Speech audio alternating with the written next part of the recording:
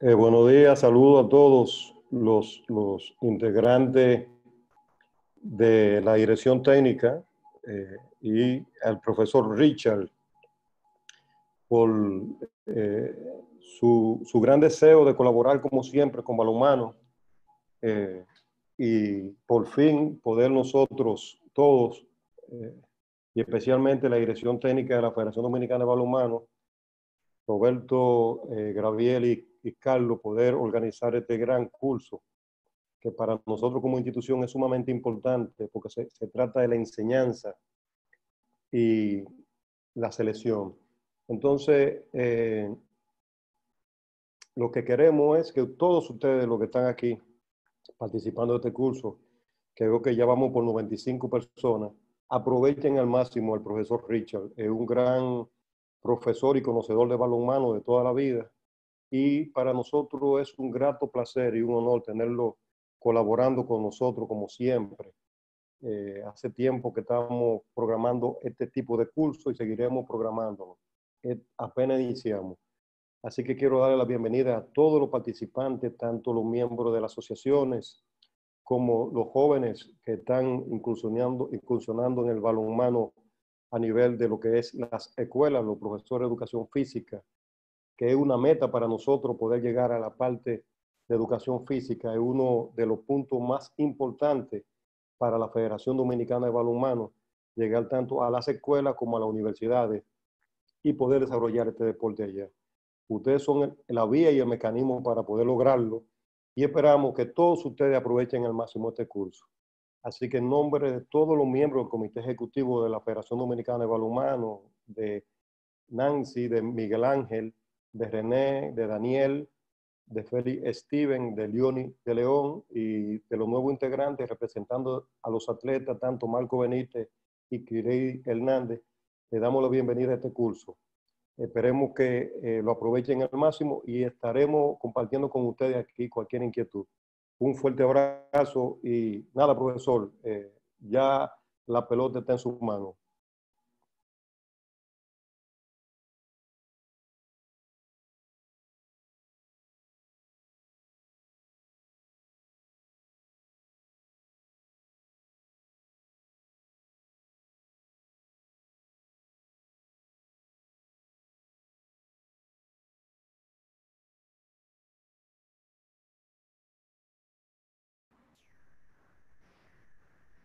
Bien, buenos días. Uh, ante todo, quisiera eh, darle un saludo a, al profesor Miguel Rivera, presidente de la Federación de Balonmano de la República Dominicana, al compañero Gaby de la eh, parte técnica, a Roberto, en fin, a todos los miembros de la Federación de Balonmano de la República Dominicana.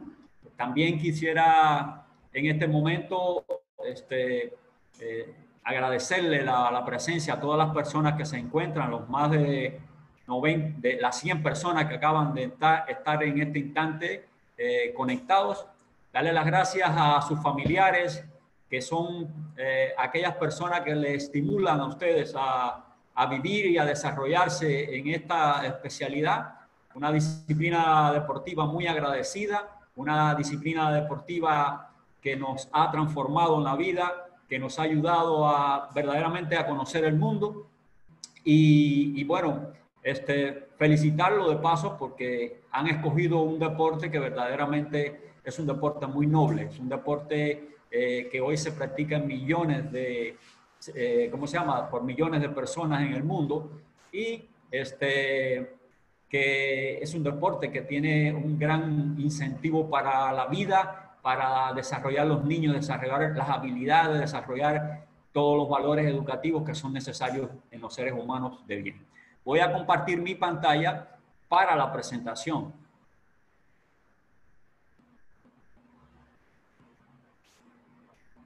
Por favor, necesito que me autoricen a, a compartir pantalla.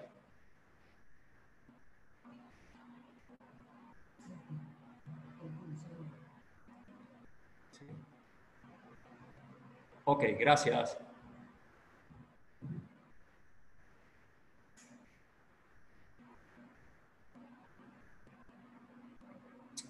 Bueno, miren, este es un curso de iniciación al balonmano y de selección deportiva. Aquí vamos a, tal vez en, en cierto aspecto, vamos a, a, rememorar contenidos. Para unos van a ser nuevos, para otros eh, no lo serán, pero al mismo tiempo van a puntualizar en algunos aspectos que tal vez ustedes no hayan visto durante los estudios eh, de pregrado en la carrera de educación física y aquellos que, bueno, han, han alcanzado un nivel en el balonmano por su eh, práctica como atletas y que tal vez, tal vez no, que, no es que lo desconozcan, sino que no hayan tenido la, la oportunidad de ir a conocimientos que son propiamente no, declare, no, declara, no procedimentales, sino son declarativos. O al mismo tiempo que son de conocimientos declarativos, pero no han sido eh, procedimentales. Cuando hablo de esto, estoy hablando de la metacognición, que es el conocimiento que nosotros tenemos sobre el conocimiento propio de nosotros. Entonces, eh, aquí está el programa del curso, como ustedes verán. Vamos a trabajar un día como hoy la selección deportiva. Eh, los temas pueden hacerse un poco largos. Vamos a tratar de ser lo más estricto posible en el tiempo. Habrá un tiempo, un break para preguntas, respuestas y continuaremos así para hacer que la actividad sea un poco más dinámica porque este, esta actividad por internet es un poco cansona ya que al no haber un contacto de persona a persona, pues entonces este, hay gente que se, se distrae y así sucesivamente. Y continuaríamos con iniciación deportiva, trataríamos algunos aspectos de la reglamentación que serían nuevos para aquellas personas que, que están hoy entrando por primera vez como profesores de educación física y hablaríamos de la metodología de la enseñanza que eh, vendría siendo un complemento de la, de la unidad número 2, iniciación deportiva. Entonces, bueno, sin más preámbulo, vamos a pasar a lo que es la selección deportiva.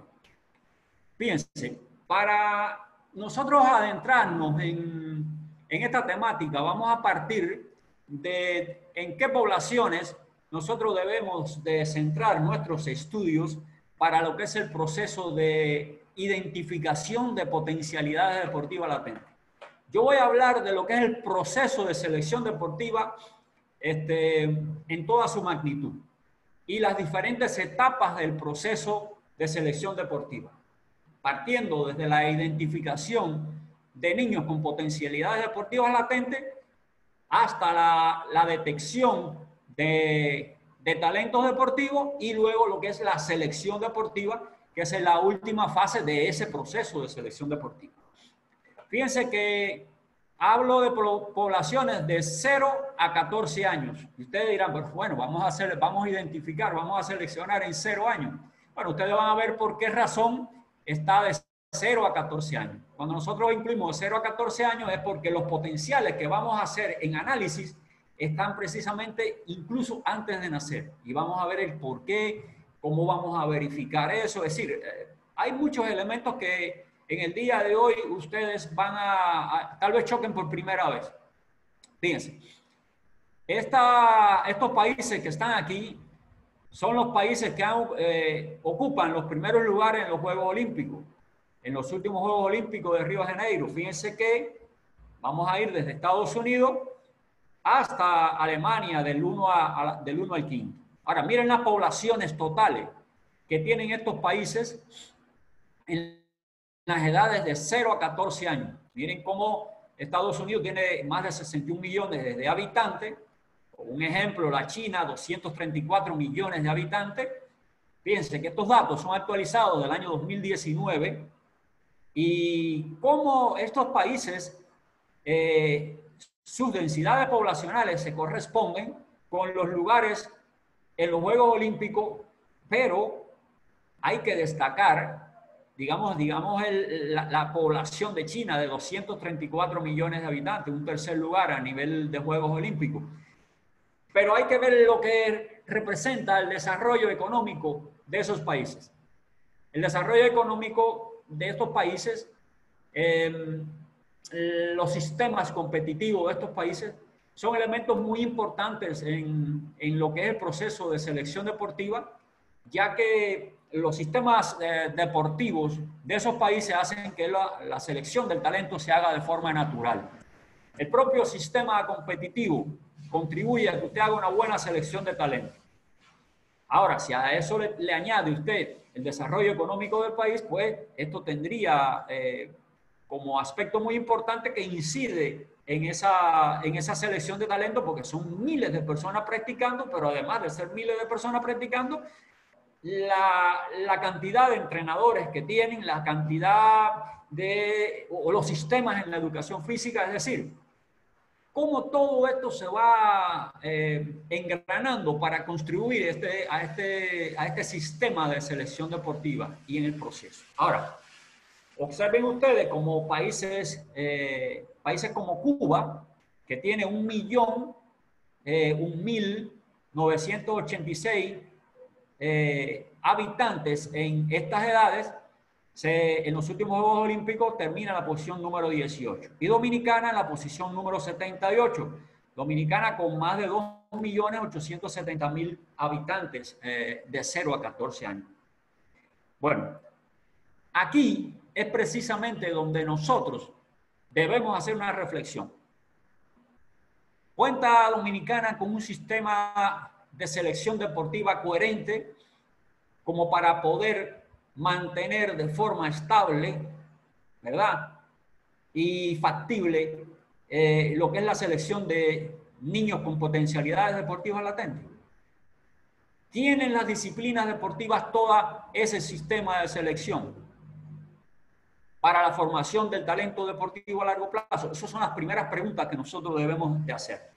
Entonces, si nosotros tenemos en Dominicana 2.870.000 habitantes, ¿verdad?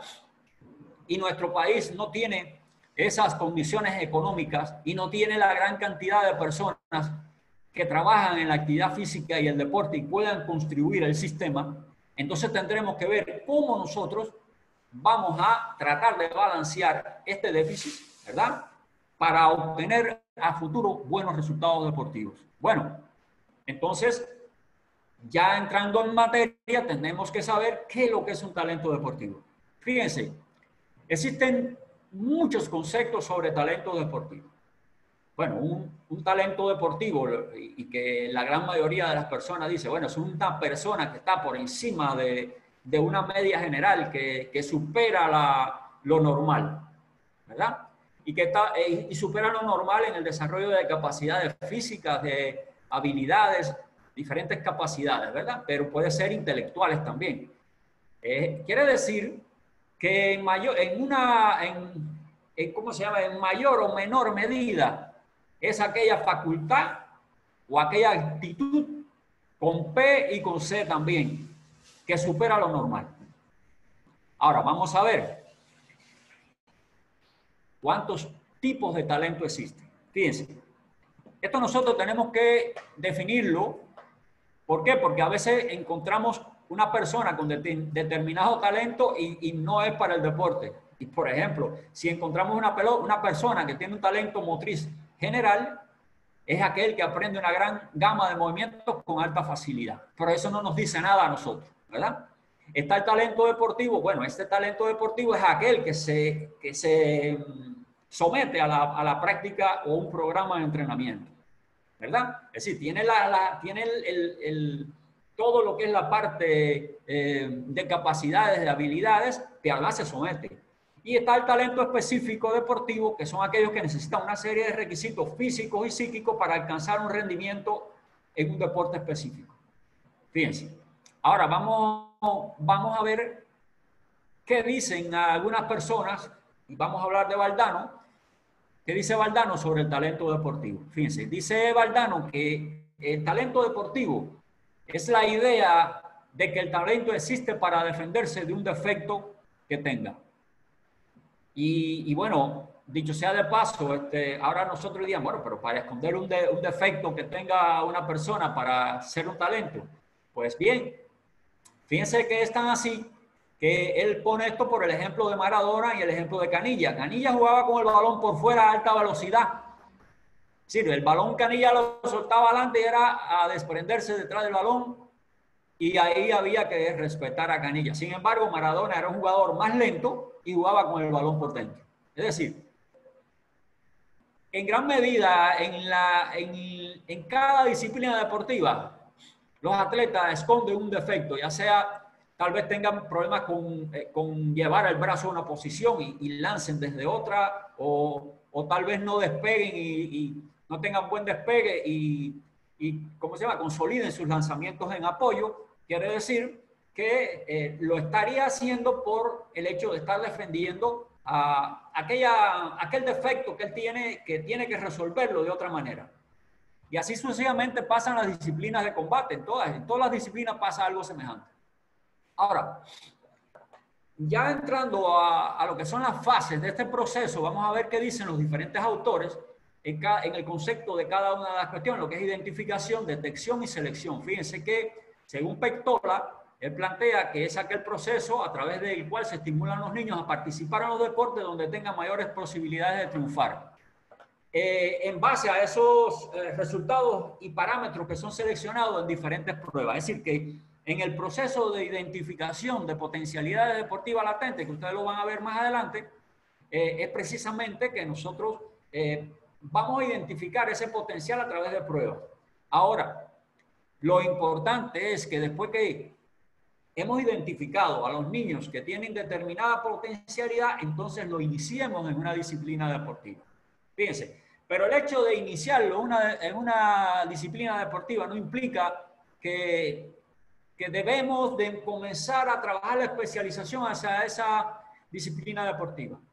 Esto nos indica que este niño le gusta, es decir, tiene un potencial, pero ahora vamos a ver si él se logra adecuar a, a esos procesos, se adapta a esos procesos. Entonces, en este momento, la identificación de talento deportivo o potencialidad deportiva latente, como digo yo, es un proceso eh, donde vamos a, solamente incluso hasta con la observación. Sí, la observación vendría siendo como el primer instrumento que tenemos que tener nosotros. Ahora, bueno, lo vamos a, a consolidar con pruebas, por supuesto, ¿no? Ahora, vamos a la detección. Fíjense que la detección ya es un proceso donde la búsqueda es a largo plazo. Sí, la, la, hay una búsqueda a largo plazo, una predicción de futuras actuaciones de los atletas o jóvenes, ¿verdad? descubriendo atletas jóvenes que, considera, que conseguirán el, el, éxito a una edad adulta para Juegos Nacionales e Internacionales. Es decir, ya en la detección estaríamos trabajando en un proceso eh, de tecnificación deportiva y ahí vamos a detectar quiénes son los que posiblemente pasen a la otra fase que es de selección, que es cuando vamos a dar predicciones inmediatas y confirmar los verdaderos atletas de acuerdo a, su, a sus objetivos y de acuerdo a su confirmación de marca. Vamos a ver esto. Dice Solanela que la selección de talento deportivo es una predicción de actuación inmediata o descubrimiento de atletas que tendrán la oportunidad de figurar entre los primeros finalistas.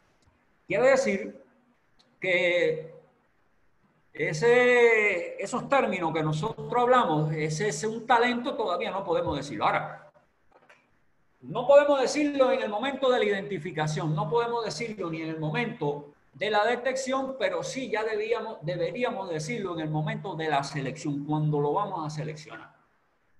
Y que ya estaríamos trabajando en una fase de perfeccionamiento atlético hacia la maestría deportiva. Ahora, yo le voy a presentar de, en, en, en, el, en, esta conferencia una tabla donde ustedes van a ver cómo es que se concreta todo este proceso en objetivos, en métodos, en pruebas. En todo. Bueno, ya identificamos, hicimos la identificación de esos niños con una potencialidad deportiva latente. Entonces, tenemos que la fase de, de desarrollo de la detección de los talentos deportivos se da precisamente en la identificación, en la formación y orientación y que es igual a la especialización deportiva para luego confirmarlos y entraríamos a la selección. Ahora vamos para eh, elementos que son importantes, como es, por ejemplo, conceptos que pueden determinar la identificación de campeones. Miren, la identificación de campeones está sustentada en la posibilidad que exista y la potencialidad. Cuando decimos la posibilidad, si nosotros tenemos una cancha, dos canchas, tres canchas en un municipio y además de eso tenemos entrenadores, pues evidentemente que tenemos la posibilidad. Ahora hay otra cosa que es la potencialidad y eso lo vamos a ver en los niños en los cuales va a descansar la selección o la identificación de potencialidades deportivas latentes. Sí. Evidentemente, si yo tengo una cancha de balonmano que está detrás de mi casa y no hay otras instalaciones, voy a ir a jugar balonmano. Entonces, esos elementos son aspectos que hay que ir aprovechando. Y ahí entra entonces otra cuestión, que comienzan a existir entonces fenómenos históricos socioculturales por la práctica que se da de la disciplina del balonmano en un determinado lugar. Si ustedes eh, comienzan a hacer un análisis, una reflexión, dirían, bueno, aquí en, en, en Dominicana, ¿cuáles son los lugares donde el balonmano prende, donde hay esas posibilidades? yo diría La Vega, puede ser La Vega, bueno, no sé, podría ser La Vega o podría ser el distrito, el distrito federal, el distrito capital, ¿verdad?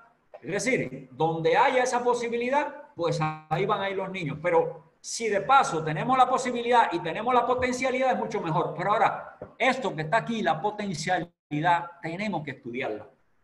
Y es por eso que el proceso de selección deportiva es un proceso complejo, un proceso que eh, demanda de estudio desde 0 a 14 años, porque son las edades que van a definir patrones genéticos de crecimiento que lo tenemos que nosotros identificar para saber lo que, con qué contamos a futuro.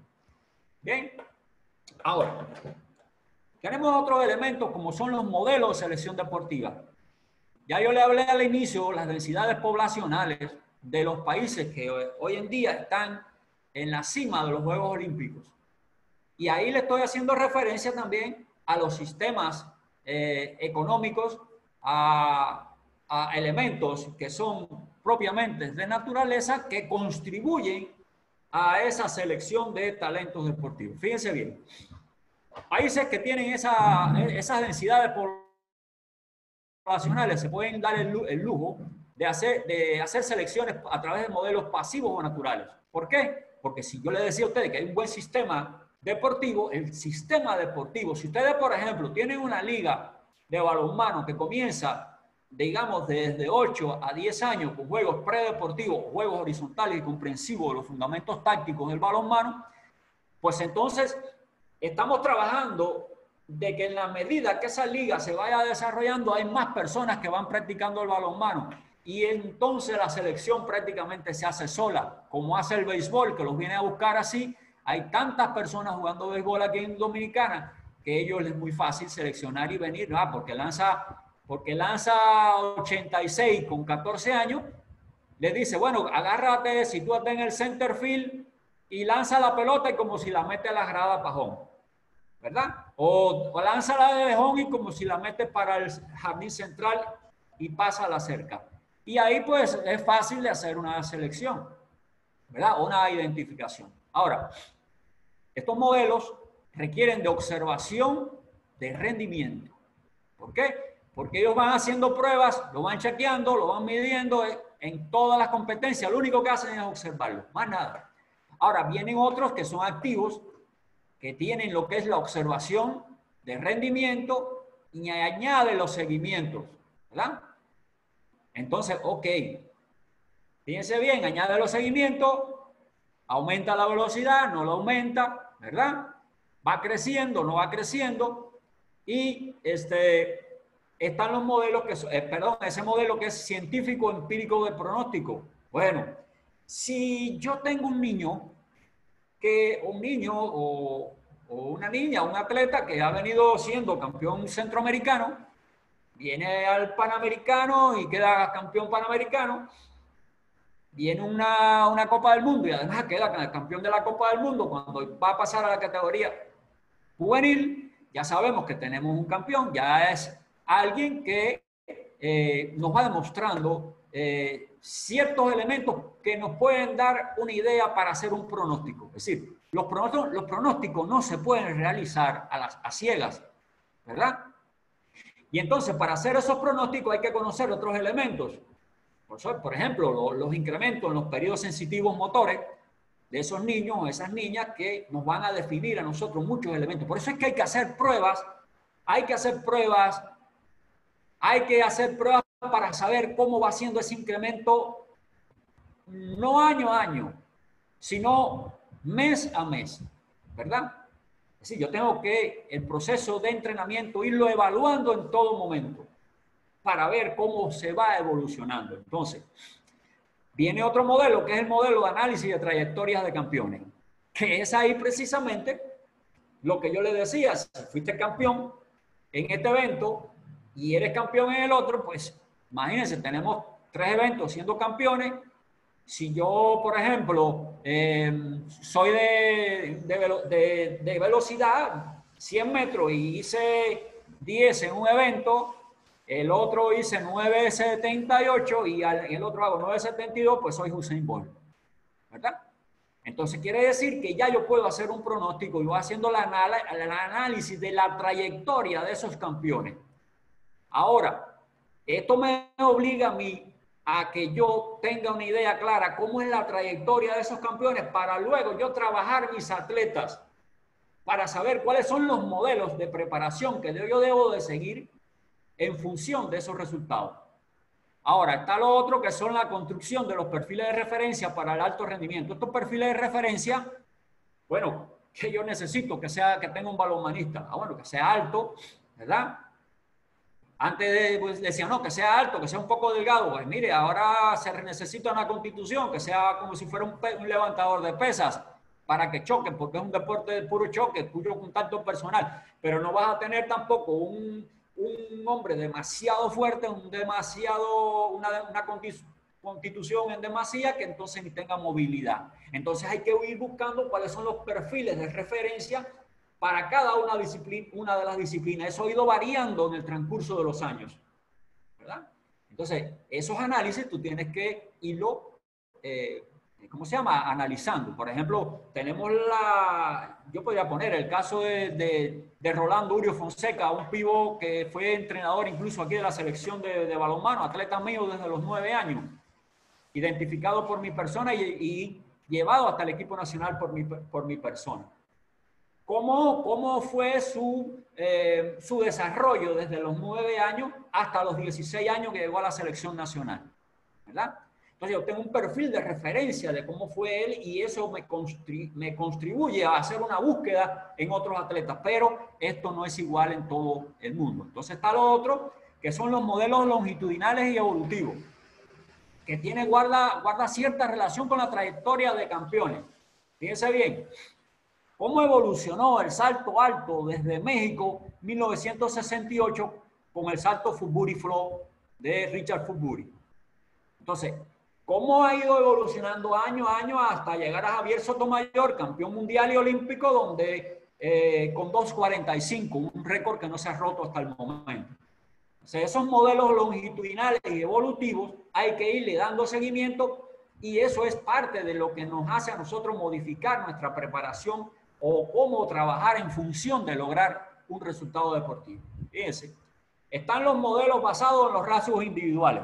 Ahora, Fíjense bien, yo no, yo por los rasgos individuales de un atleta, yo trataría de buscar a otro, pero esto no se da igual en todo el mundo, ¿verdad? Ahora, más o menos, yo digo, bueno, tiene tal estatura, ¿verdad? Yo le voy a dar unos parámetros de estatura más adelante y ustedes van a decir, oye, pero son fuertes esos parámetros de estatura. Sí, ok, pero si no buscamos esos rasgos que, están dentro de, los rasgos individuales por estatura, otros de las partes, por la parte psicológica.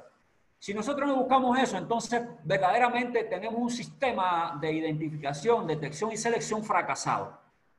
Así que aquí hay que aplicar la ciencia. No se, no se trata de, de decir, oye, mira, yo voy a entrenar y de entrenar de forma irreflexiva. Yo tengo que entrenar de forma reflexiva y pensar.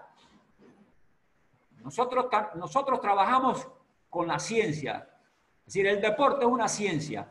Y más adelante, cuando demos la parte de iniciación deportiva, ustedes van a ver el carácter de ciencia que tiene el deporte como deporte, no con otras ciencias que eh, estudian el deporte, como la fisiología, la bioquímica, la biomecánica, etcétera, ¿verdad? Están los modelos cognitivos, que tiene que ver con aquella capacidad de los atletas para dar respuestas cognitivas. Los modelos orientados hacia el logro, bueno, son modelos orientados hacia el logro que tienen que ver también relacionados con los pronósticos, ¿verdad? Y los modelos socioculturales. Aquí en Dominicana el deporte nacional es el béisbol, ¿verdad? Pero vamos a ver dónde se practica el voleibol. ¿Por qué el voleibol se practica, en este lugar? ¿Por qué el balonmano se ha, hecho eh, potencia en tal provincia? ¿Verdad? Es decir, esos modelos históricos socioculturales que son los que definen en muchos, ah, en muchos casos lo que nosotros podemos hacer para crear potencialidades, eh, posibilidades en, ciertos lugares. Yo no voy a, llevar, por ejemplo, a, practicar remo a, no sé, la, provincia aquí que, que, no tenga un, eh, no tenga ni costa, ni al mismo tiempo tenga una presa donde puedan hacer los remos. Es decir, que el modelo sociocultural tiene una gran influencia, porque allí va a haber personas que van a asistir a esa práctica deportiva porque ya está arraigado en las personas, ¿verdad? Y bueno, entramos en otros factores, que son factores generales y factores específicos. En los factores generales tenemos que tener en cuenta ese biotipo de la, de la persona. Un biotipo específico para ser un jugador de balonmano, que bueno, vamos a ver, el, diámetro cromial tiene que ser ancho, es decir, ancho de espalda, estrecho de la cintura pélvica, eh, eh, piernas largas, extremidades superiores largas, índice córmico mayor a 108 o 110% porcentaje con relación a la talla, ¿verdad? Así que tiene una, una, una abrazada relativa, una envergadura bastante buena para, para realizar el deporte. Todos esos son factores generales, ¿verdad? Tiene condiciones físicas motoras buenas, tiene gran capacidad de trabajo, ¿verdad? Tiene un buen estado de salud, eh, tiene un buen rendimiento al esfuerzo, tiene buenos performances y tiene un buen equilibrio psicológico. Bien, pero hasta ahí lo estamos viendo desde, el punto de vista general. Vamos a hacer una búsqueda y decimos, bueno, eh, eh, evidentemente nos da ciertos elementos como para, para identificarlo, detectarlo, seleccionando o seleccionarlo. Pero vamos a ver, hay unos factores específicos, es que tenga el biotipo específico para el balonmano, que tenga una disposición natural para el balonmano. ¿Por qué? Porque puedes tener todas las características, pero cuando lo llevas a, la práctica del balonmano, dice, no, profesor, yo quiero irme a tocar un violín y ya aquel atleta, como me pasó a mí, ¿verdad? Me pasó con un atleta, eh, con el hermano de un atleta que, eh, por cierto, árbitro internacional, Eduardo Pita, de balonmano, atleta extraordinario, vino aquí a Dominicana. Este, el hermano tenía más condiciones que él, pero me dijo, no, profe, a mí lo que me gusta es tocar violín. Ah, bueno, entonces váyase a tocar violín. Entonces, y la fisiología especial. La fisiología especial, no todo el mundo tiene una fisiología como aparentemente puede parecer de que es un individuo resistente, es un individuo que es resistente, pero es de fibra blanca predominante, muscular. Entonces ahí uno entra a hacer balance. Bueno, mi, mi deporte es un deporte anaeróbico, aeróbico, aeróbico, anaeróbico, láctico, aláctico, se realiza en condiciones de fatiga. Es decir, esa fisiología especial entra en pruebas más específicas que nosotros debemos hacer. Y luego están las habilidades y destrezas específicas del deporte. Es decir, que estos son elementos importantes que hay que considerar en la selección deportiva. Y ahora vamos a ver cómo inicia ese proceso de, detección deportiva. Bueno, para comenzar a detectar, hay que comenzar cuando ya hay unas relaciones con el deporte, ¿verdad? Cuando hay una iniciación deportiva. Puede ser hasta en la propia identificación deportiva, que es eh, en el caso de eh, cuando se estimula, ya yo hablé de, la identificación, cuando se estimulan los niños a participar en ciertas disciplinas deportivas. Y en la escuela, es decir, que estos son los, los la, es decir, hacia dónde debemos de nosotros enfocar el proceso de la detección deportiva. Y vamos a ver cómo continúa. Bueno, este proceso continúa en la formación técnica, táctica, psicológica, teórica, es decir, en la formación ya eh, física, ¿verdad? Propia de la disciplina y en esa especialización. Ahora, vamos a ver cómo culmina el proceso de detección para pasar a la selección. Fíjense, este proceso culmina con las perspectivas futuras del atleta. Si nosotros entre 13 y 16 años no hemos logrado tener un atleta que por su potencial, ¿verdad? Pueda llegar a una selección deportiva, pues bueno, vamos a dejarlo practicando balonmano, pero vamos a dejarlo practicando balonmano para su salud. ¿Verdad? Este, este momento es un momento un poco, eh, vamos a decir, frustrante, un poco duro, porque la selección de talento es discriminatoria, discriminativa. Y es entonces esa, ese momento de culminación que se confirman marcas, ya empiezan a confirmarse marcas, es decir, objetivos o perspectivas futuras y confirmación de marcas. Ahora, aquí tenemos que tener en cuenta esto, fíjense. Tenemos que tener en cuenta, y le voy a decir, la regla de oro de la formación de un talento son 10 años. De cada mil practicantes sistemáticos, hay uno que tiene posibilidad de ser talento. De cada mil. Eso es por regla. Hay que tener practicando aproximadamente esos 10 años 5 horas diarias. 5 horas diarias.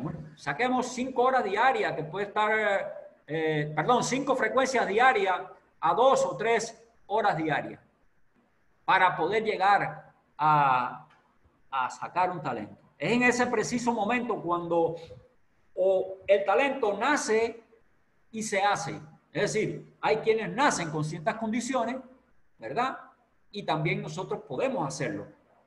Así que están las dos cuestiones, ¿verdad? Están los factores que son intrínsecos y extrínsecos, es decir, lo que es endógeno y es exógeno que hay que considerar en la selección deportiva. Ahora, Sí, que hay que tener en cuenta el tiempo utilizado para su desarrollo, es decir, la edad deportiva. Llevo 10 años, llevo 6 años practicando balonmano, ¿verdad? Ahora, el nivel de desarrollo de la capacidad de rendimiento, los resultados competitivos alcanzados y el tiempo potencial de desarrollo. Cuando Rolando Urio participó en el primer campeonato nacional 13 y 14, quedó líder goleador y creo que tenía 11 años, líder goleador de ese campeonato nacional. Y ahí en ese campeonato nacional la, prensa señala, recuerden este nombre, Rolando Urio Fonseca. Fíjense bien, a los 16, empezó a los, empezó a los 9, a los 16 años llegó al equipo nacional. Así que tendríamos 7 años, ¿verdad? De edad deportiva para llegar a, un equipo nacional. Ahí, ahí habría que valorar todo lo que era el desarrollo de aquellas capacidades que tenía, los resultados deportivos que había alcanzado y el tiempo potencial de desarrollo. Siete años y en siete años llegó al equipo nacional. Así que por regla le faltaban tres más para el tiempo de la regla de oro que se plantea desde el punto de vista científico. Eso es importante que nosotros tengamos en cuenta entonces de lo que nosotros tenemos, cómo es ese avance.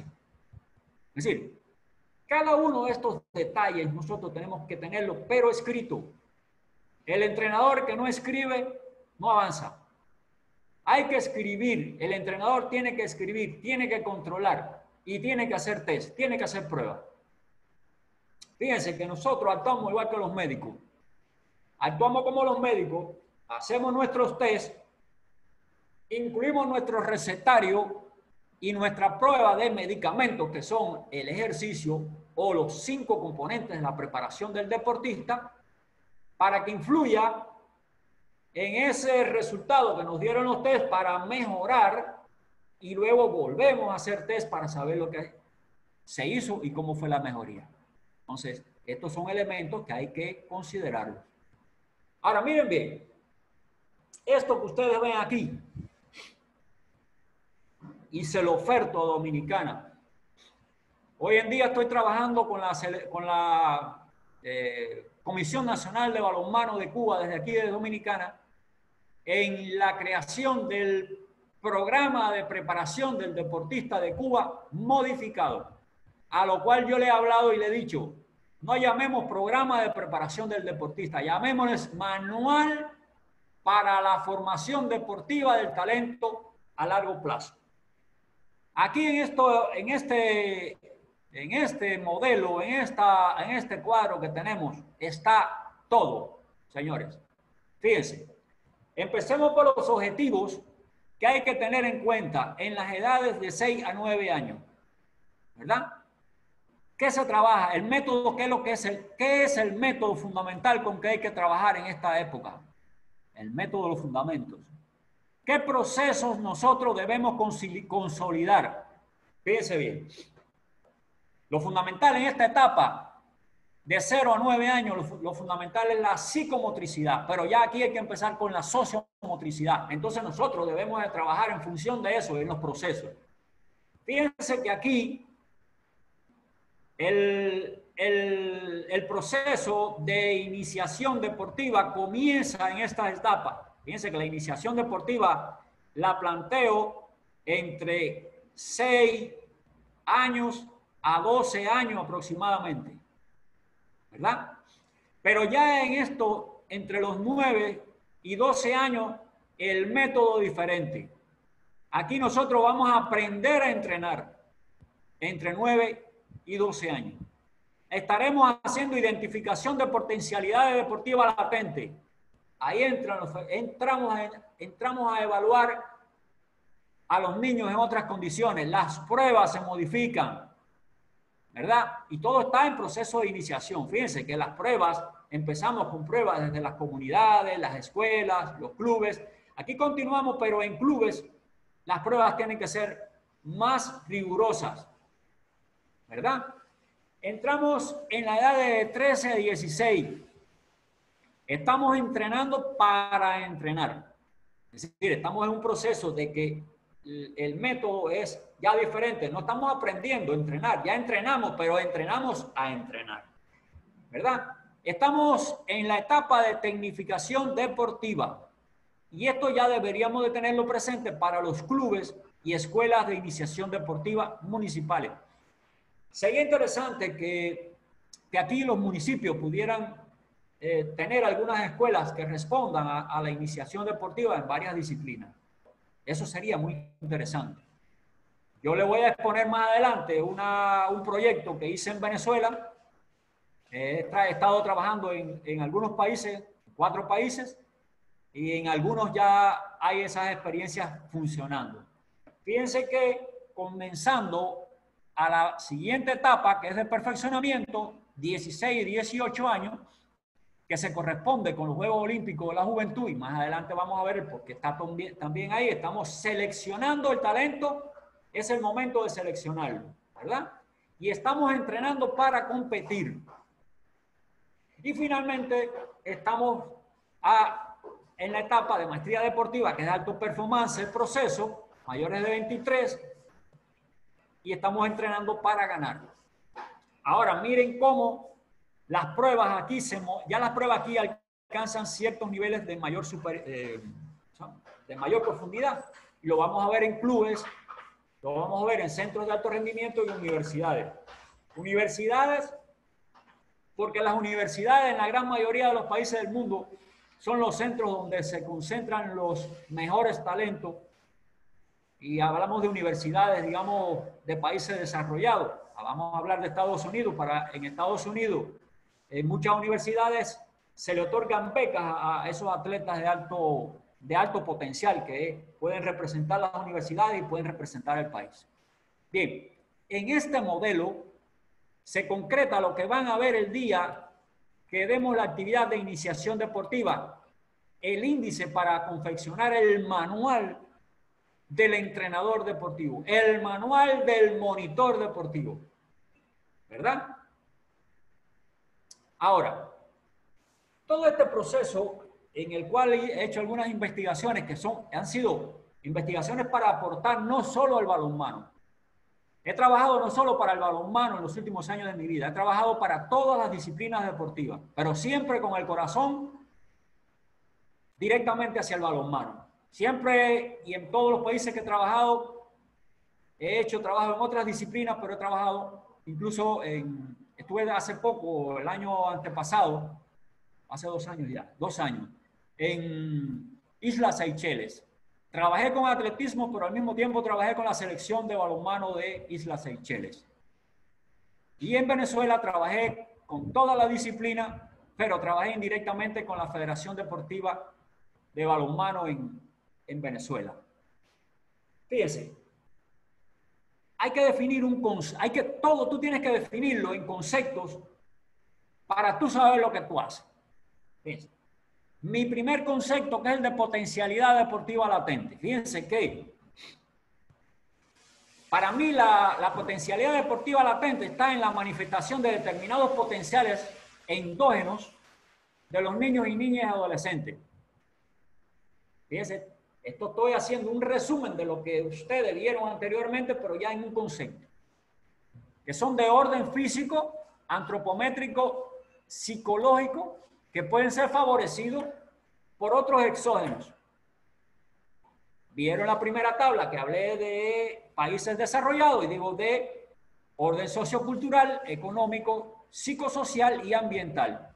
Ahora fíjense bien. Su logro estará dado por la posibilidad de adecuar las conductas motrices a la estructura y lógica interna de un deporte el concepto de conductas motrices lo va, lo van a conocer bien en la conferencia que es sobre iniciación deportiva. Pero para adelantarle algo, ¿no? La conducta motriz se da por un fenómeno de la observación donde vemos lo que realiza cada uno de los niños y niñas o atletas, ¿verdad? En los movimientos que tienen una intención. Entonces, si usted no, no logra adecuar las conductas motrices que están influenciadas por el aspecto psicológico, es decir, en los movimientos, lo que es psicomotricidad, ¿verdad? Que tiene que ver con cuerpo, mente, decir, el movimiento pensado, ¿verdad? Pero si ese movimiento pensado no se adapta a la estructura y lógica interna de un deporte y esa estructura se da por lo que se reglamenta y la lógica se da por siete universales que son los universales de Pierre de Parleva, que lo van a conocer en la iniciación, cuando vemos lo de iniciación, pues entonces nosotros no vamos a lograr hacer una identificación de las potencialidades deportivas latentes. Esto es un proceso complejo, dígase complejo, fíjense Ahora, vamos a otro elemento. Ya nosotros conocemos aquellas potencialidades. Y una vez que conocemos las potencialidades, entraremos entonces a hacer un análisis de cuál es la, multipotencia deportiva latente, que son varias actitudes físicas y o habilidades aún no identificadas que pueden potenciar las existentes. Su origen puede ser genético o por causas multifactoriales y el descubrimiento de ellas a tiempo es la esencia para no agotar la reserva genética potencial de los niños y niñas que inician un deporte. Le vi las condiciones a determinado niño o niña. Pienso que va a ser un remero y no es un remero. O pienso que va a ser un balonmanista y no lo es. Va a ser tremendo boxeador. Fíjense. Entonces, comienzo a hacer un trabajo, tal vez lo lleve a, movimientos explosivos, a fuerzas explosivas, ¿verdad? Que hay una determinada fuerza explosiva, porque a partir de los ocho años comienza a desarrollarse el trabajo con la fuerza explosiva, pero sin embargo su capacidad no es para fuerza explosiva, es para eventos donde sean de resistencia. Pero no he hecho un análisis del por qué me demuestra que tiene esa fuerza explosiva por aquellos factores multifactoriales exógenos que han, que, han contribuido en ello. Entonces, seguimos, seguimos complejizando el proceso de identificación, detección y selección. Entonces, vamos a ver cómo organizo y qué es lo que es el proceso para hacer esa selección deportiva. Fíjense bien. El proceso de identificación de, potencialidad deportiva latente es una estructuración orgánica y sistemática de determinados laxos de identificación de potencialidades deportivas latentes. En un tiempo dado, tienes que aprovechar ese tiempo para hacerlo. Si te sale de ese tiempo, es decir, es como aquello cuando se dice eh, de alguien que cometió un delito y dijo, estás en el lugar equivocado y en el momento equivocado. No, aquí es, tienes que estar en el tiempo dado y en el momento eh, y en el lugar indicado. Entonces, ¿quién lo organiza? Los especialistas de la actividad física y el deporte.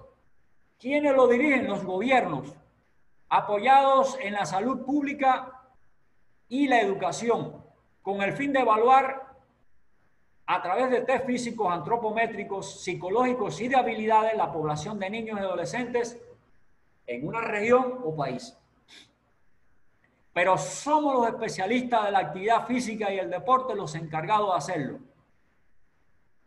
No podemos someter, fíjense bien, no podemos someternos a hacer una identificación si estos niños no pasan por el sistema de salud. ¿Por qué si no pasan por el sistema de salud? Imagínense que encontremos niños que tienen problemas visuales en la retina y los pongamos en, en boxeo. Al primer golpe que le den, se desprende la retina y hemos malogrado un ser humano. Entonces, es importante que todo proceso que hagamos esté la salud pública del país en el medio de este proceso, para lograr hacerlo con efectividad.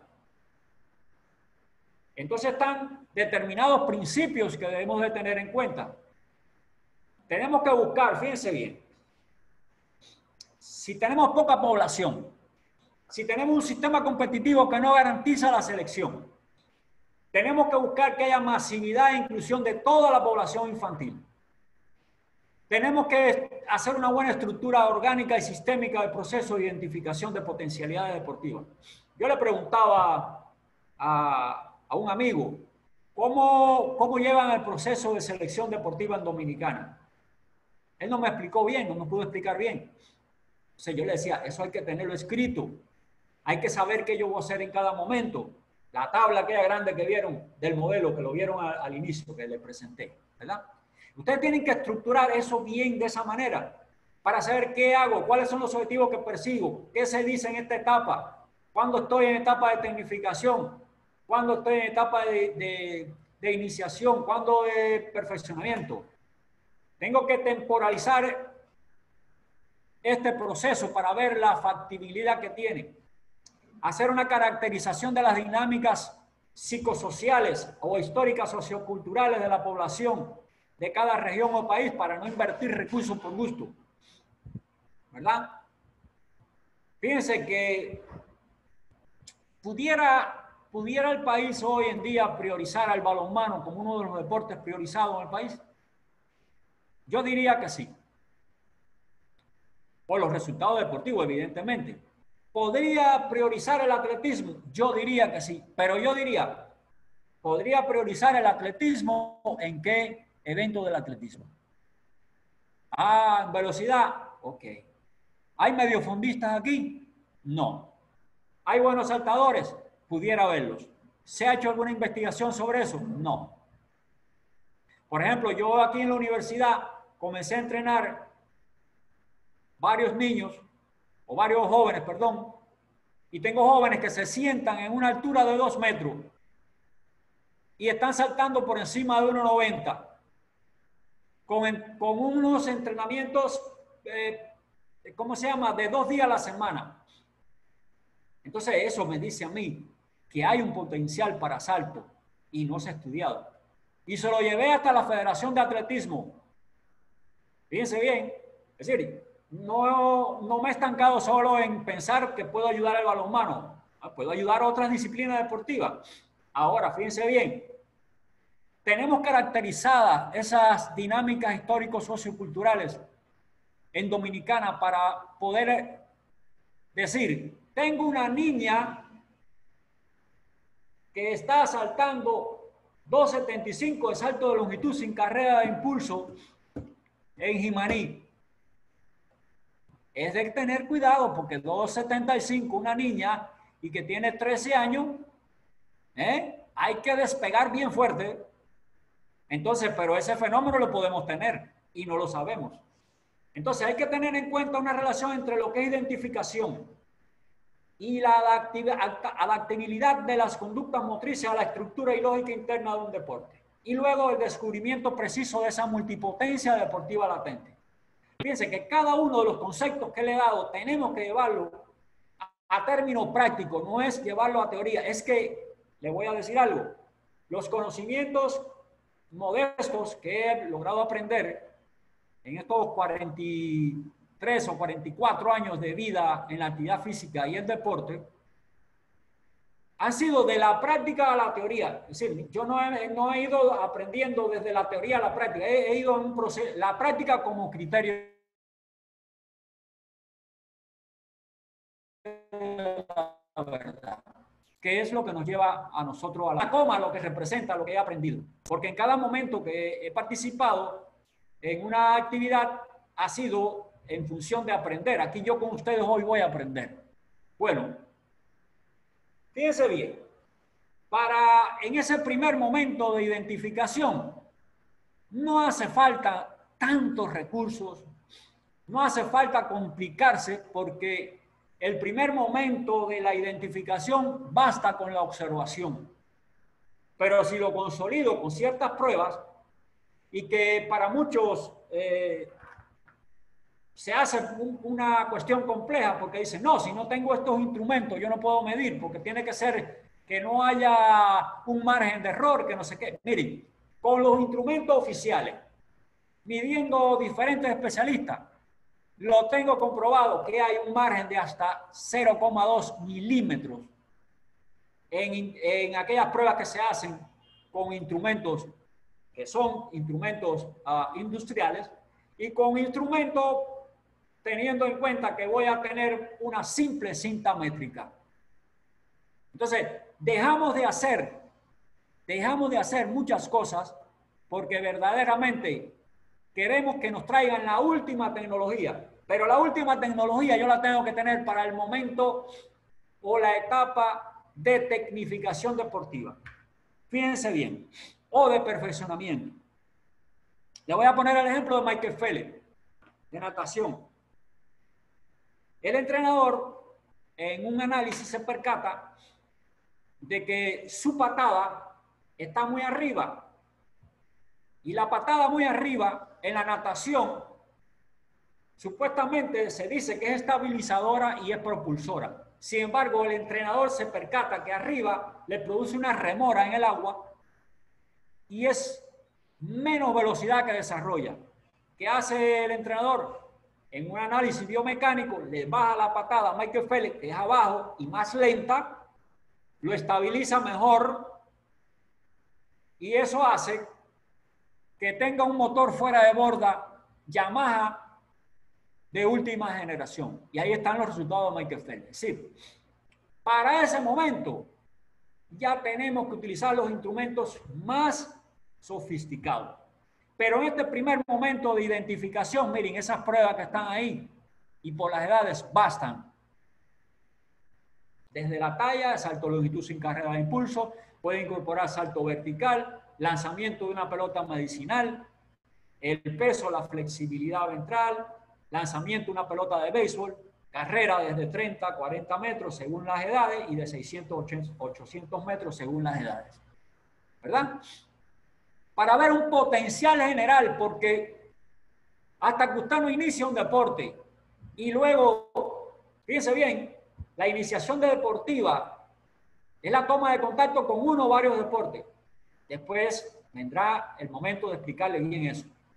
Entonces, tomas contacto con uno o varios deportes. En el proceso de enseñanza-aprendizaje comprendes los bloques básicos o las acciones motrices de cada disciplina deportiva. Luego tienes independencia para jugar esa disciplina deportiva ha culminado el proceso de iniciación. ¿Verdad? Y a partir de ahí comienzan a, a hacer más complejos los test. Entonces, no nos podemos detener en el tiempo para medir. Esa es nuestra función de el profesor de educación física, del monitor, del entrenador. Hay que medir. mínimo en el año dos veces en el año, medir en, en digamos, este tipo de pruebas, pero cuando entrenamos, semanalmente tenemos que evaluar, diariamente tenemos que evaluar y mensualmente tenemos que hacer test para contrastar el incremento en los periodos sensitivos motores que nos van a decir cómo es el avance de lo que estamos haciendo, si es bueno o es malo. Pues bien, miren los instrumentos, qué sencillo. ¿Verdad? Muy sencillo estos instrumentos que necesitamos. Esta pelota medicinal que ustedes ven aquí, en mi país, la construí con serrín y arena en pelotas desechables para hacerla de un kilogramo y hacerlas de dos kilogramos, de acuerdo a la edad. Pues bien, fíjense bien. Aquí están las tallas que nosotros necesitamos para deportes como baloncesto, balonmano y voleibol. Y pudiéramos decir para boxeo, ¿por qué no? Y podemos decir para taekwondo, ¿por qué no? Y podemos decir para remo, ¿por qué no? Fíjense bien. O para cualquier otra disciplina. Si nosotros tenemos estas tallas para niños y niñas en estas edades, en los niños que estamos nosotros entrenando, señores, estamos trabajando con posibles talentos deportivos en bruto. En bruto. Ahora, imagínense ustedes que con esas tallas nosotros vamos a competir cuando competimos con Europa. Y hay países como Argentina que tienen buenas tallas. Muy buenas tallas. ¿Verdad? Aquí en el área. Hay países como Cuba que sacan buenas tallas, sobre todo en disciplinas como voleibol, ¿verdad? Entonces, ahí es donde tenemos que ir nosotros. Nosotros debemos de tener un sistema competitivo en el cual se premie en puntuación de que los entrenadores nos lleven al menos uno o dos jugadores con estos tallajes en cada equipo y además que mínimo jueguen, aunque sea cinco minutos en un partido, si no son muy buenos. ¿Por qué? Porque el niño que con estas edades tenga estas tallas, le va a pasar por arriba a aquellos pequeños que tienen unas grandes habilidades, ¿verdad? Estos se demoran mucho más en el aprendizaje, en el desarrollo de habilidades. A menos que tenga una enfermedad como el mal de, Wolf, de Wolfgang, ¿no? De Marfan, que tenga un crecimiento por problemas de la glándula, eh, ¿cómo se llama? Pituitaria, creo que es, en este caso. Entonces, fíjense bien, si tiene eh, ese tipo de enfermedad, eso lo vamos a ver más adelante porque lo vamos a estudiar, ustedes van a ver porque tenemos que comprobar ese potencial. Fíjense, aquí muy rápidamente. Los que tienen la computadora lo van a ver. Bien, vamos, vamos a dejar esta, esta presentación aquí y hacer un breve. ¿Ok? Entonces. Bien. El profesor. Eh, Saludos a todos de nuevo. Estamos en el momentito donde vamos a hacer el break de las preguntas dentro de los materiales que le solicitamos que tuvieran, le recomendamos que tuvieran una libreta para ahí ustedes anotar las preguntas que fueran llegando a sus inquietudes durante la intervención del profesor y ahora podemos hacer las preguntas a través del chat para eh, que el profesor nos las pueda ir contestando. Así que, por favor, escribir en el chat eh, las preguntas para nosotros eh, remitirse al profesor y que el profesor le conteste está abierto. Tenemos 15 minutos para ese break.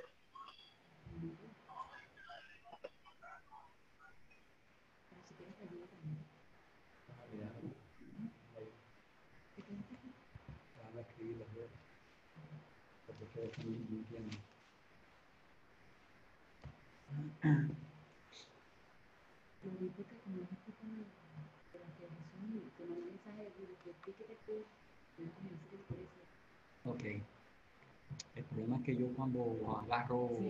Vamos a ratificar. Marcel, ¿se escuchó lo que yo dije, por favor? Sí, sí, todo claro, todo claro. Bueno, pues estamos esperando que por el chat, por favor, le hagan las preguntas pendientes al profesor para que él la vaya contestando. Esto no puede ser un monólogo. Recuerden que este es un curso aunque es a través de la plataforma, debe ser interactivo. Así que cualquier inquietud, esperamos por ustedes.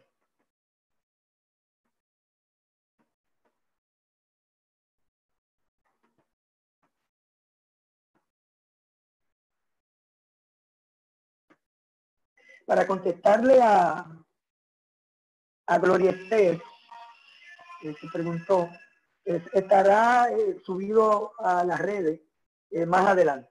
Profesor, primera pregunta, le habla Eury Sosa. Eh, pregunta él, para un niño de 10 años, ¿cuál es la cantidad de metros para hacer el test de velocidad y resistencia?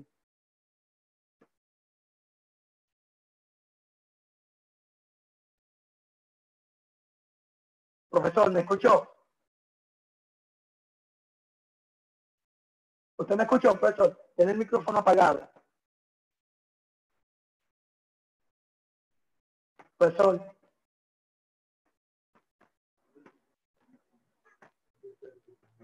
Marcel, ¿tú me escuchas? Sí, yo te escucho bien, yo te escucho bien. Lo que pasa es que el profesor no tiene que activar el micrófono. Active el micrófono, profesor. le, repito, le repito la pregunta. Sí, Le pregunta a Eury Sosa, después de saludarle, que para un niño de 10 años, ¿cuál es la cantidad de metros que debe de aplicársele para hacer el test de velocidad y resistencia? Ok, fíjense bien. Este, nosotros podemos utilizar una distancia de 30 metros en la velocidad y esto tiene que, esto hablamos de velocidad de reacción simple prácticamente porque la otra, la otra es determinar rapidez, esta rapidez, la otra sería determinar velocidad, que es la trayectoria, que estaría, eh, la podemos evaluar, digamos, con 30 metros, pero lanzado. Son 10 metros, 10 metros de impulso y, y empezar a marcar a partir de eh, que empiece con los, eh, sí, con los 0 metros para los 30 metros. ¿Me entiendes? Eso sería para la velocidad en 10 años. Ahora, eh, para la resistencia, con 600 metros es suficiente. Fíjense bien.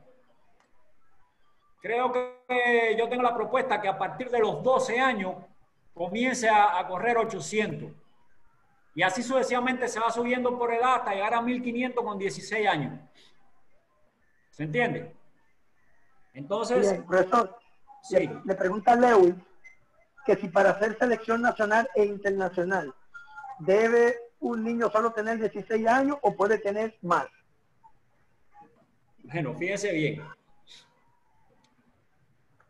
Pero me está hablando de qué, de categoría o al adulto. Eh, me imagino que debe estar hablando de selección nacional de adultos. Adultos, sí. Fíjese bien. Yo le, yo le, ponía el ejemplo de Rolando Urio, que llegó con 16 años a la selección nacional y a los 16 años le dijo al pivo regular que había en la selección nacional, mira, siéntate que llegué. Con 16 años, pero ese fenómeno no se, ese fenómeno no se da en, en todos los atletas. ¿Verdad?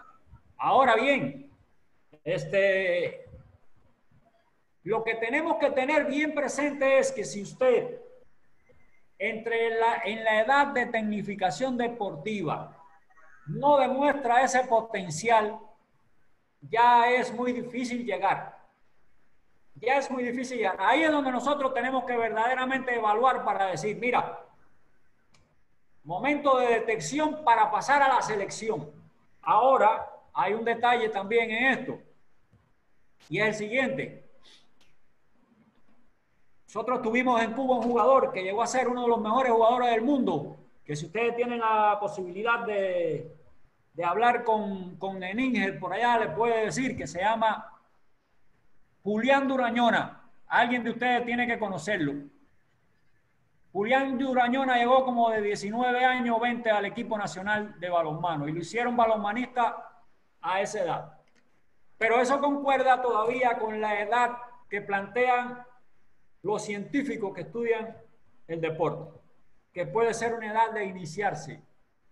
Pero como ustedes sabrán, si usted se inicia a los 19 o 18 años, su vida deportiva va a ser bien corta. Si, si yo le hablé que, que Rolando, ¿no? Empezó a los 9 años y en el 2010 se retiró, tienen una gran vida deportiva, larga vida deportiva, y estaba con sobre 40 años jugando, jugando la Liga Española de Balonmano, ¿verdad? Una de las ligas más fuertes que hay en el, en el balonmano en el mundo. Entonces, quiere decir que hay que considerar mucho la edad. Pero también sucede, y vamos a hablarlo, estoy hablándole de, eh, una combinación de disciplinas. Fíjense que en levantamiento de pesas, en los Juegos Olímpicos de China, hubo un chinito que quedó campeón mundial olímpico, hizo récord con 16 años, pero a la próxima Olimpiada no fue. Es decir, que también la aceleración en este proceso hace que la vida deportiva sea más corta. Es decir, que es, una, es un fenómeno que hay que estudiarlo porque hay que ver entonces determinado, determinadas condiciones que tiene la persona que te dicen, mira, ¿puedo alargar la vida deportiva o no la puedo alargar? Es decir, que ese es el elemento que tenemos que considerar. A los 16 años se puede llegar a un equipo nacional, plenamente. A los 16 años usted puede estar trabajando cargas. Cargas de verdad, por ejemplo, no es recomendable trabajar eh, las pesas con la fuerza máxima menores de 14 años en género masculino. Sin embargo, ya en el femenino ya puedes trabajar. ¿Se entiende? Es decir, que eh, hay que jugar mucho con eh, los periodos sensitivos motores, los periodos sensitivos en los cuales se puede trabajar la fuerza, se puede trabajar la resistencia, cuándo es la rapidez, la flexibilidad máxima, cuando se puede. Es decir, todos estos elementos que son elementos que hay que considerarlos para otro tipo de curso que puede ser un curso eh, en el cual podemos trabajar a futuro. Bien. Aquí está la respuesta, profesor. Aló.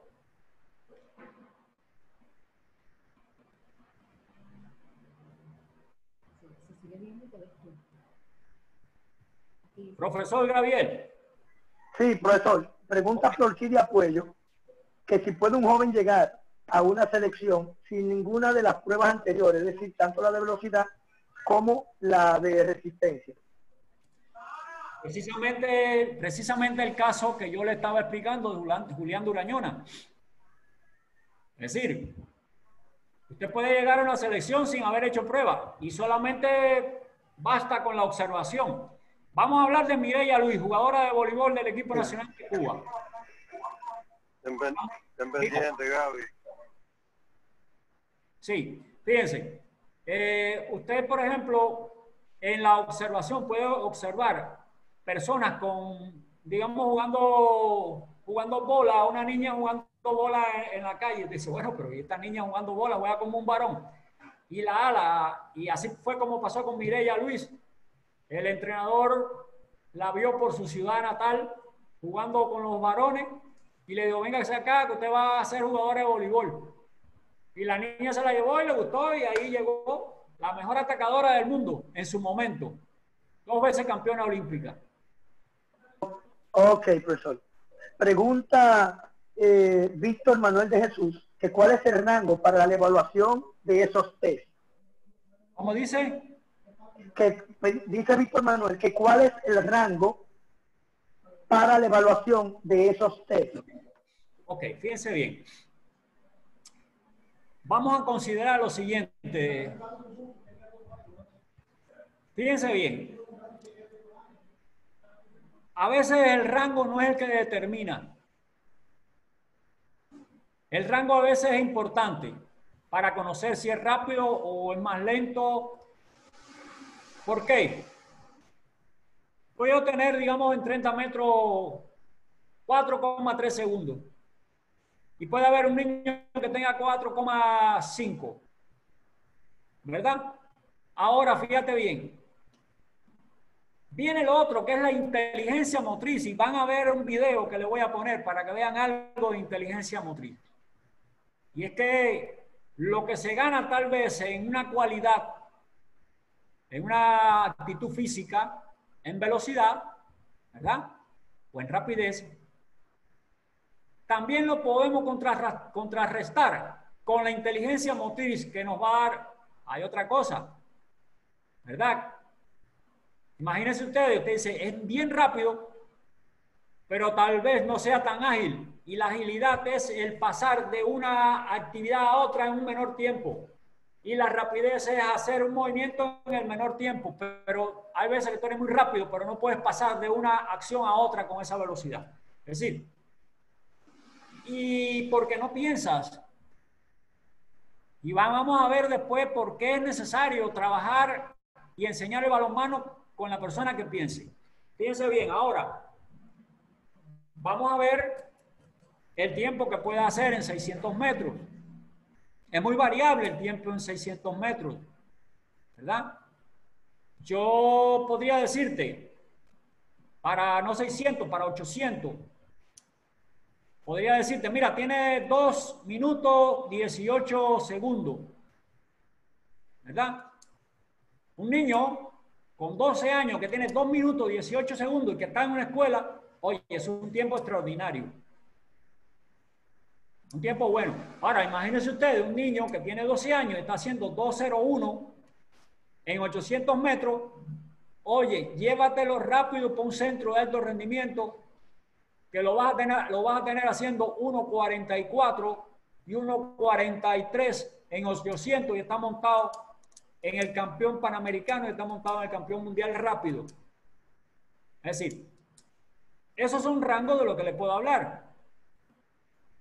Ahora no puedo decirte, mira, 600 metros puedes tener tal tiempo en este instante, ¿no? No te lo puedo decir, pero te puedo decir en otras pruebas, 800, te puedo decir, tiene 3 minutos eh, eh, eh, ¿cómo se llama? 40 segundos en 3000 y así sucesivamente. Es decir, que los rangos son importantes, pero al mismo tiempo tienes que valorar otras cualidades. Es decir, cuando tú hagas pruebas, todas las pruebas tienes que correlacionarlas. Si yo tengo una prueba donde soy rápido, estoy en un buen percentil, en el percentil 95 en velocidad, en el percentil 97 en salto de longitud sin carrera de impulso, en el percentil 97 en, digamos, eh, eh, ¿cómo se llama? Despegue vertical. Y estoy en el percentil 80 en resistencia. Y estoy en el percentil 80 en flexibilidad y estoy en el percentil 97 en lanzamiento de la pelota de béisbol y en la pelota medicinal estoy en el 89. Fíjense que la fuerza con la pelota de béisbol es con una cadena abierta y la, y la fuerza con la pelota medicinal con una cadena cerrada. Entonces, son diferentes tipos de fuerzas explosivas. Pero cuando tú haces todas esas pruebas, ¿qué te indica a ti? Tú dices, bueno, aquí hay, una una, ¿cómo se llama? Un predominio de los ejercicios de fuerza explosiva. Este niño tal vez pueda ser de fibra blanca. Y es ahí cuando empieza el otro estudio. El estudio entonces donde entran los médicos deportivos, entran otras, otra gente que tienen que eh, hacer más profundo. Por eso yo le digo que este primer momento y además si no hacemos prueba y no tenemos base de datos, y no tenemos base de datos, pues entonces no podemos hablar. Es necesario que hagamos base de datos de República Dominicana para poder decir los percentiles. El percentil 95 de República Dominicana en 5.000 metros es 18 minutos 50 segundos. Fíjense bien. Tener eso te da elementos para decir, oye, si el percentil 95 es 18 y es, tiene 10, digamos 16 años, tenemos prácticamente un corredor de medio fondo ahí a la mano y no lo sabemos. Para 10.000 metros, un corredor de 10.000. Ahora, si yo tengo en el balonmano uno que me tiene a mí, me corre 22 minutos, 6 segundos, algo así, le voy, a decir, le voy a decir a ustedes, en el análisis que he hecho, en el balonmano se anda categoría 2 y 13 años, se anda corriendo de 2.5, 2.500 metros a 3.000 metros en un partido. Fíjense bien. Entonces, si yo tengo ese niño que me está haciendo ese tiempo ahí, con edad digo, mira, tiene una buena resistencia. Ahora hay que ver si esa resistencia la puede emplear bien en el juego, porque tenemos que tener resistencia para eventos de larga duración y otra cosa es tener resistencia especial para un deporte de eh, cooperación o posición como el nuestro. Ajá. ¿Otra pregunta? Sí, profesor. Eh, mire, eh, en lo que usted puso ahí, yo creo que usted le contestó a Emanuel Santana, a John Secada, a Joan Quesada y a Yori eh, Candelario. Pero hay otras preguntas. Le voy a hacer dos preguntas más para luego retomar. En ese momento usted va a tomar un vaso de agua cuando vayamos a retomar para yo darle una información a los participantes las dos preguntas son las siguientes. Dice, pregunta José Chero. Usted acaba de mencionar que la selección de talento es discriminativo. ¿Por, ¿Por qué es discriminativo? Si la discriminación no puede existir en los niños y niñas, ya que los talentos nacen y también se hacen. ¿Cómo me explicaría esa tesis? La otra. La otra pregunta eh, habla que dice, eh, deme consejo cómo motivar a un joven de 12 años que no practica balonmano, pero que es, eh, es un pequeño juego de exhibición, en un pequeño juego de exhibición, demostró buen resultado físico y un poco de agresividad en la defensa. ¿Cómo podría motivar? Bien, fíjense bien. Vamos a, lo primero del, del, que, eh, ¿dónde está la discriminación en el proceso de selección deportiva? Miren, cuando yo le hablo de discriminación, hay, un momento que hay que discriminar, tienen que estar claros. Fíjense bien, ¿por qué hay que discriminar en un momento, discriminar en un momento determinado? Fíjense, viene la etapa de iniciación deportiva, es una etapa donde todos pueden practicar.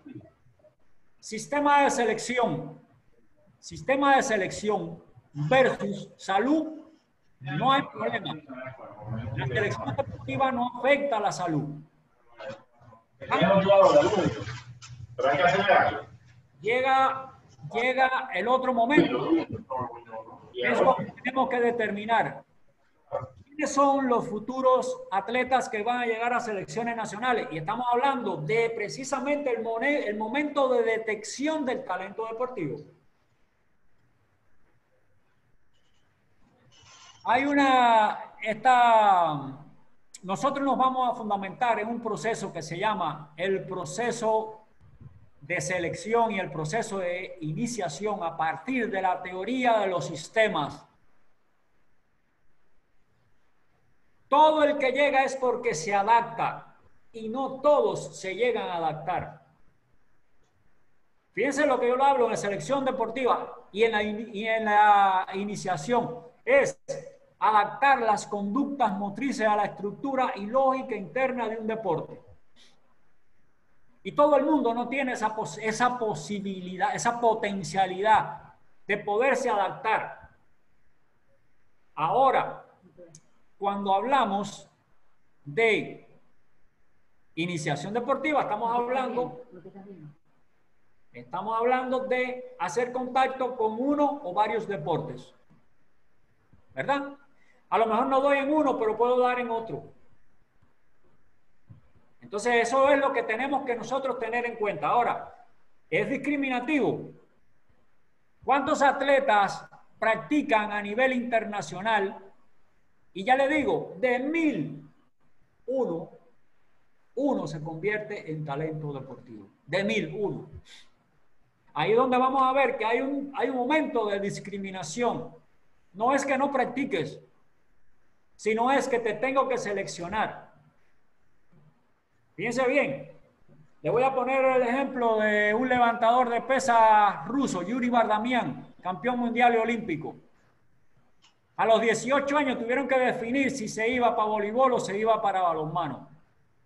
En los dos deportes tenía tremendo. Y miren qué comparación, voleibol, eh, perdón, voleibol, levantamiento de pesa.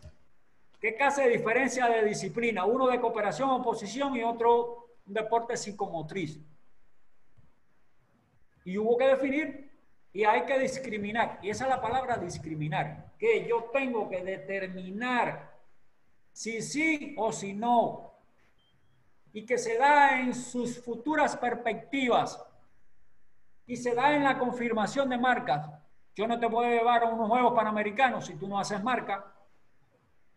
Entonces, la marca, la marca, escuchen, ¿qué es lo que es el deporte? El deporte es una actividad placentera, reglada, institucionalizada, de superación y de confrontación,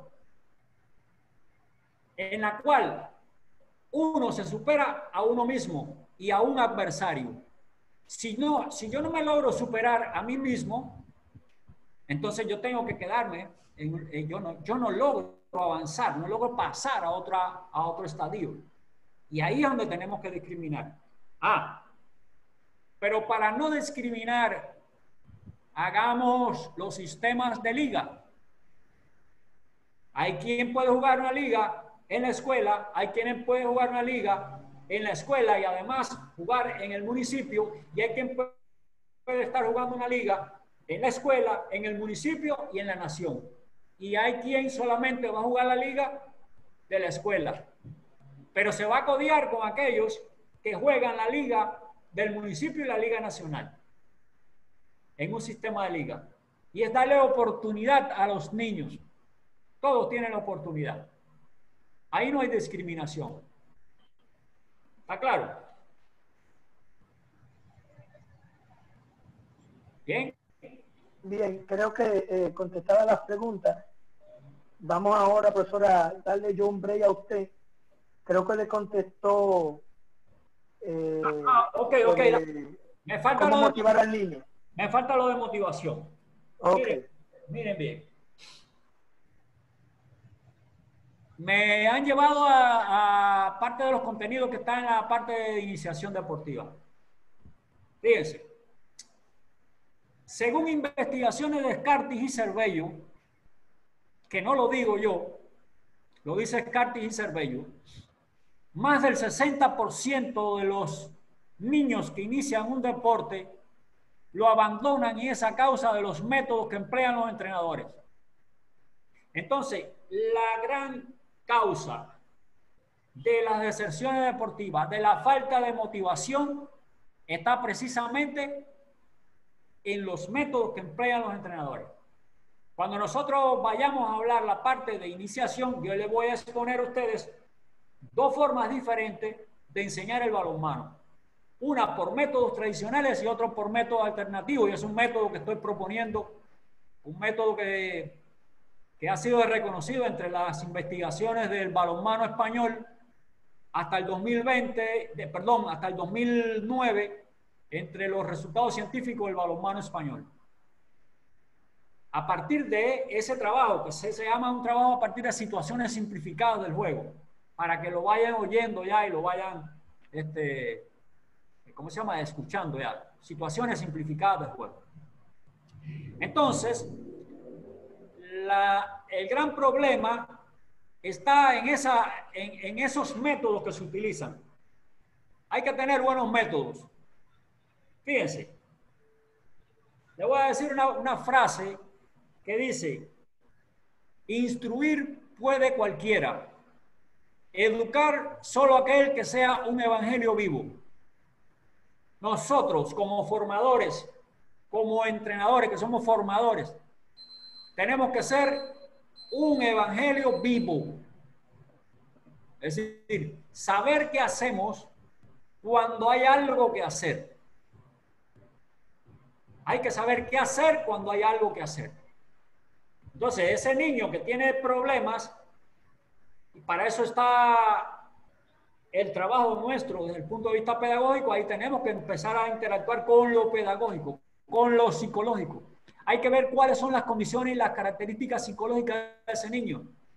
Hay que hacer un estudio más allá, que lo vamos a ver aquí, aquí lo vamos a ver hoy. Y es que hay que conocer de la familia, hay que saber cómo vive el niño, ¿verdad? ¿Qué condiciones tiene en la escuela, perdón? son muchos elementos que hay que, considerar en este caso. Ahora, si es muy agresivo en la defensa, es porque no le, no le hemos enseñado a defender como se debe defender el balonmano. Y lo van a ver, que hay que aprender esta disciplina, hay que aprenderla desde el reglamento, porque es lo que estructura el juego. Hay que verla desde los siete universales de Pierre de Parleva, que lo van a conocer más adelante en la próxima eh, intervención. Y ya ustedes van a ver cómo podemos motivar, ¿verdad? Entonces, eh, la próxima pregunta, lo que vamos a hacer, Gabriel. Bien, eh, no, ya concluimos el ciclo de preguntas por el día de hoy. lo que quería era que usted ahora se tomara un break, se un vasito de agua en lo que yo le doy las siguientes informaciones a todos los participantes. Eh, lo primero, eh, ustedes recuerdan que nosotros le enviamos eh, unas comunicaciones donde le, pedíamos que entraran 20 minutos antes a la plataforma para ir corregir algunos fallos que se nos presentaran.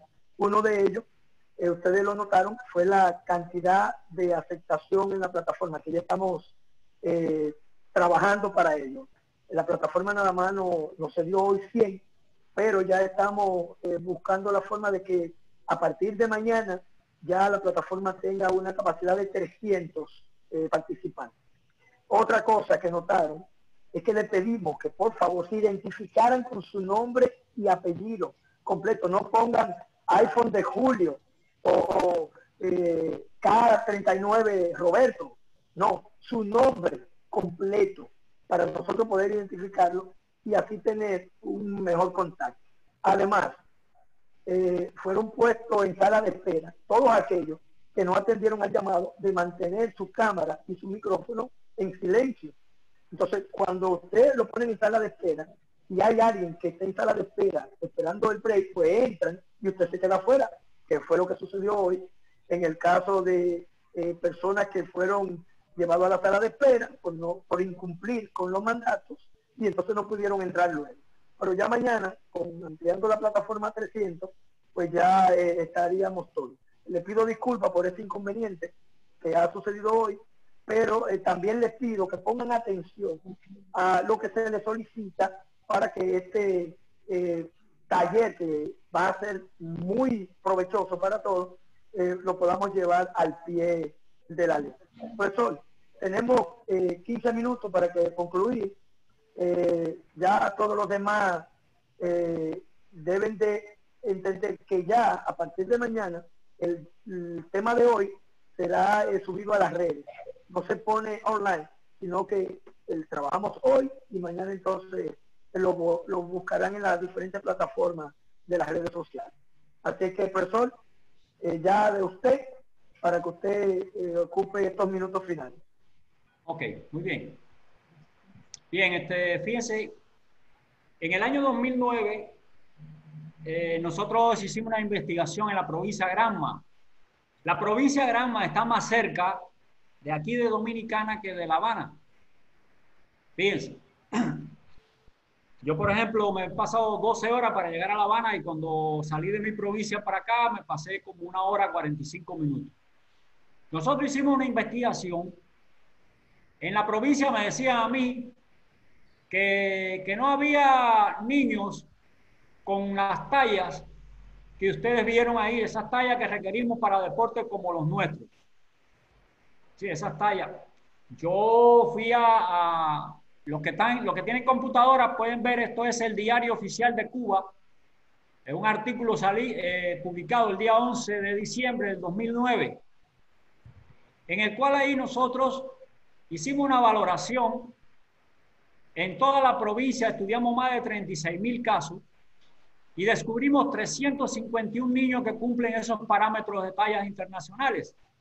Parámetros de tallas internacionales que van desde 1,79 en las niñas hasta 1,94 y en los varones desde 1,91 hasta 2 metros 12, 12 centímetros.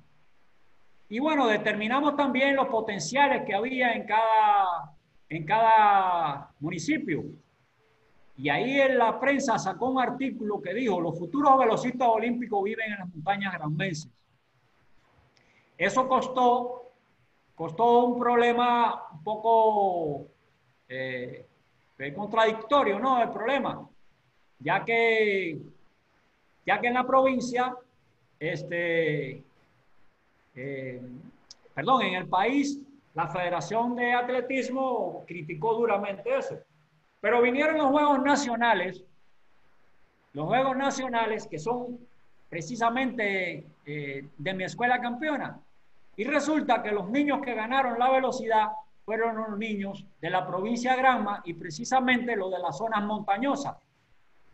Zonas montañosas que están mirando frente a Jamaica.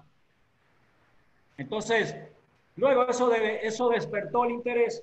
Luego la provincia del año 2009 fue la provincia que más atletas por toda la selección, a, los centros nacionales de alto rendimiento y a las selecciones nacionales en Cuba. Entonces, eso nos dio, nos dio una realza en lo que estábamos haciendo, nos puso al frente como vanguardia en el trabajo de la selección de talento. Luego, luego me fui a vivir a Venezuela, me casé con, con mi esposa, que está aquí oyendo la, la, la conferencia, y en Venezuela hice un proyecto para ocho disciplinas deportivas en Táchira. Allí este, hice un proyecto para una unidad educativa de talento nacional donde logré que se llevaran los mejores talentos del país a esa escuela.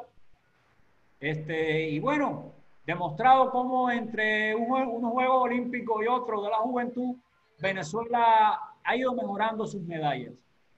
Cuestión que, que, bueno, fue muy positiva. Ese proyecto lo, llevamos hasta, hasta, el gobierno nacional, fue aprobado y bueno, ahí están los resultados. Luego en Islas Seychelles, fíjense bien, hace dos años, como le decía, ahí trabajé con el atletismo, fui por tres meses y me tuve que quedar prácticamente dos años con un contrato para para hasta el año 2022, los Juegos Olímpicos en Dakar, Senegal.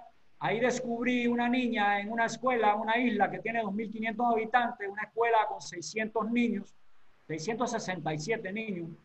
Y ahí descubrí una niña que tiene, eh, o tenía en ese momento 12 años, medía 1,75 y miren esta niña.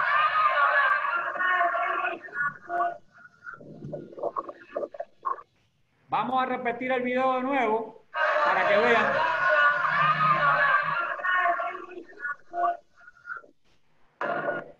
Miren por dónde pasa esa niña, ¿verdad? Con 12 años. Esa niña ganó los Juegos Nacionales Escolares con 1.52 récord nacional y cuando salí de la isla, con 13 años, la isla, la niña estaba saltando nada más y nada menos que 1.65. Ese 1.65 es un resultado comparable con el resultado que Javier Sotomayor con 14 años hizo, hizo 1,65. Es decir, que ella con 13 años está aceptando 1,65, ¿verdad? Y es una niña que, que a futuro puede llegar al Juego Olímpico de la Juventud y agarrar una medalla. Ahora miren, la talla futura, una vez que le hice eh, la proyección de talla de esa niña es para 1,97. Va a ser una talla respetable, ¿verdad? Entonces, yo les digo a ustedes, estos son elementos que hay que considerar en la selección de talento y que nosotros tenemos que hacer esa búsqueda. Estoy hablándole de una sola escuela en una isla de 2.500 habitantes en la cual yo trabajé. ¿verdad? Ahora, aquí está el otro caso. Y aquí lo van a ver. Fíjense bien, el que hemos hablado durante toda la, conferencia sobre Rolando Urio, tienen el trabajo de este pivo, su inteligencia motriz. Mírenlo ahí,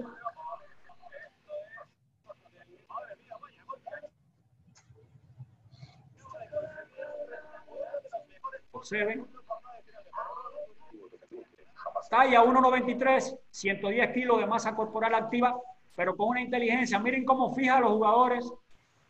Miren cómo fija los, miren cómo fijó, hizo la pantalla, ¿verdad? Es decir, desde los nueve años circulando en este deporte, pudiese haberse quedado en el camino pero aquí juegan un papel importante los procesos de motivación. Y también hay que tener en cuenta el individuo que aprende en ese proceso de iniciación deportiva. Ustedes tuvieron la posibilidad de tenerlo aquí como, como entrenador en, en Dominicana. Bueno, fue un tiempo relativamente corto porque vino para los Juegos Centroamericanos. Mírenlo ahí. Es decir, la portería él la tenía, él, él miraba la portería con la espalda. Es decir, con la espalda miraba la portería. La ubicación que tenía la portería desde los nueve años jugando esa posición, ustedes se pueden imaginar. ¿Verdad? Bueno. Continuamos.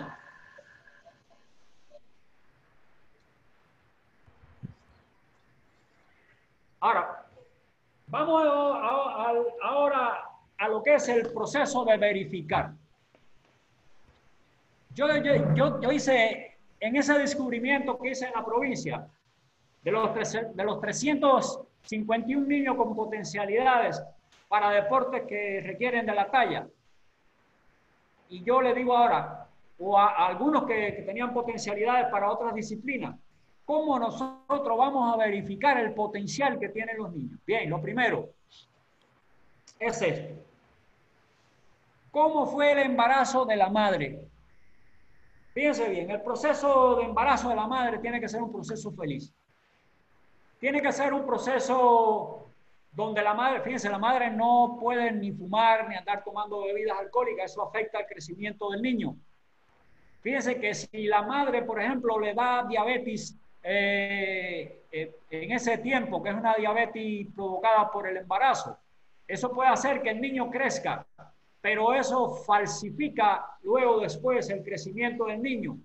O por ejemplo, si la madre parece, padece con la tensión alta durante ese tiempo, eso puede hacer que el desarrollo del niño sea menor. Y los procesos afectivos que tenga la madre. Es decir, la madre durante el proceso, y ahí es cuando estoy hablándole de 0 a 14 años, miren desde dónde tenemos que empezar a nosotros investigar. Encontramos a ese potencial.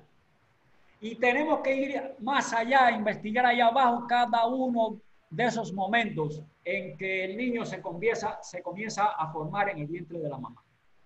Ahora viene lo otro. Viene el nacimiento. El niño nace.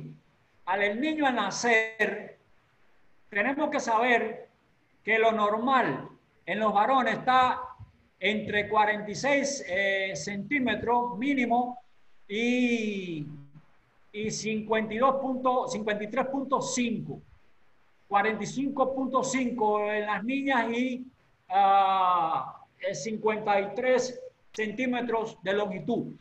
Para cuando nosotros tenemos a alguien de, de 53 centímetros en el nacimiento y que el peso anda entre 3 y 4 kilos, entonces eso es bueno.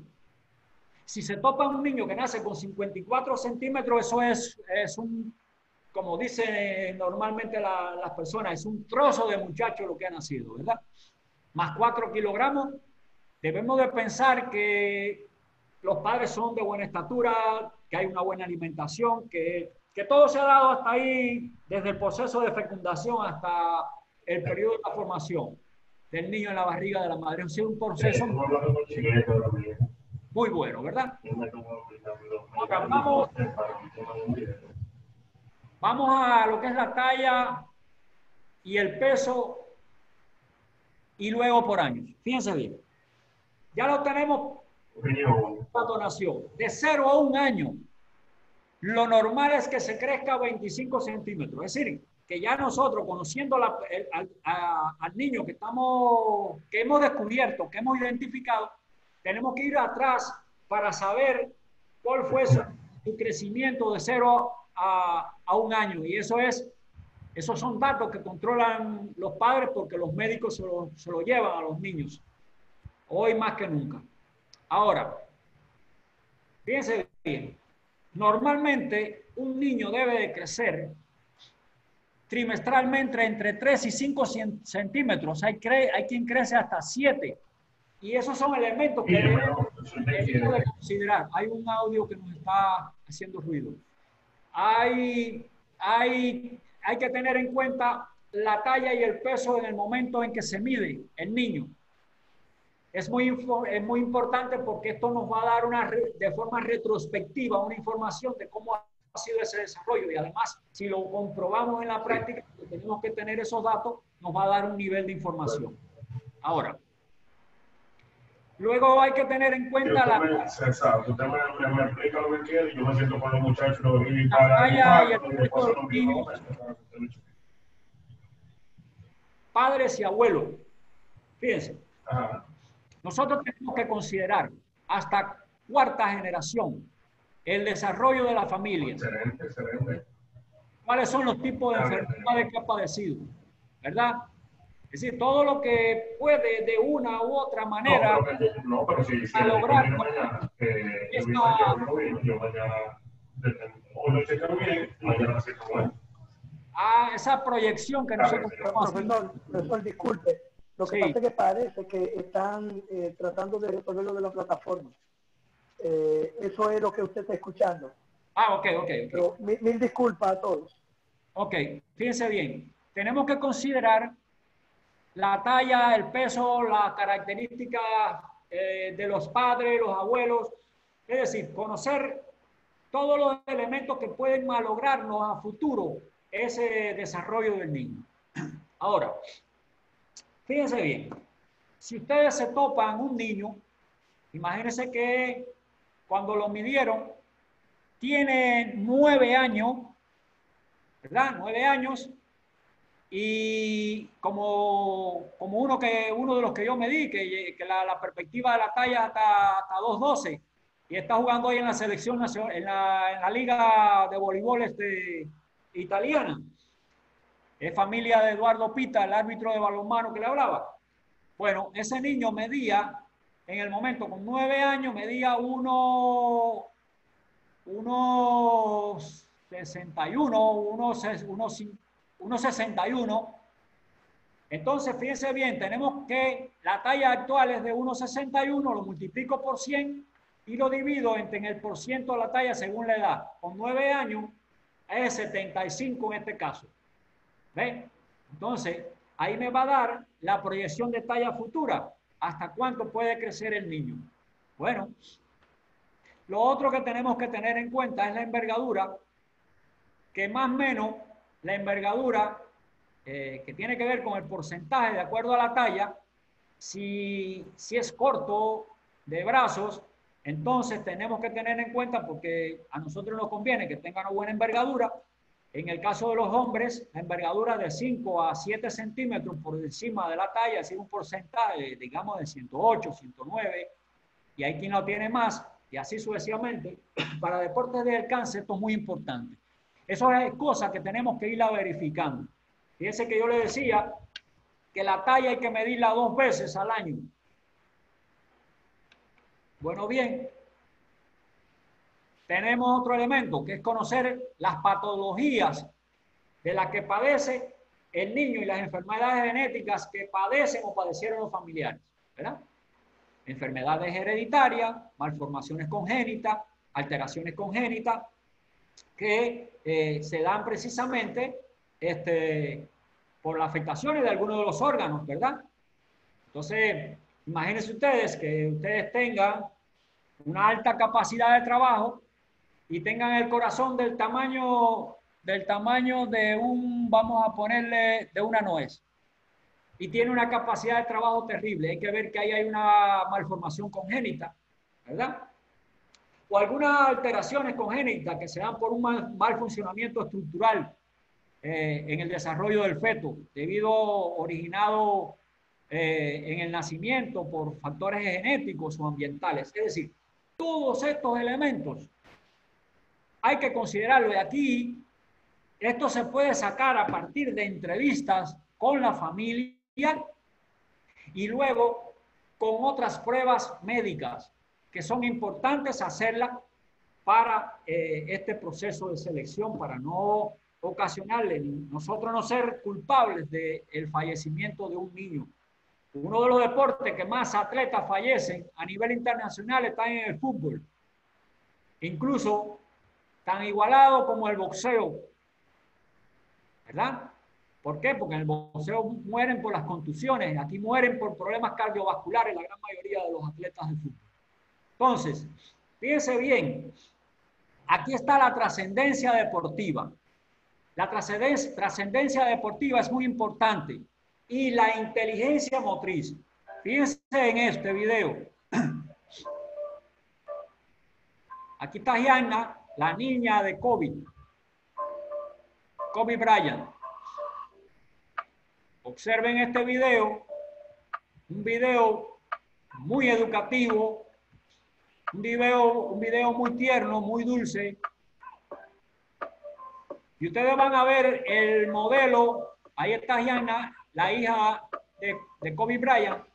Miren el modelo, miren el modelo de la niña, Miren el modelo del padre, porque lo van a ver. ¿Okay?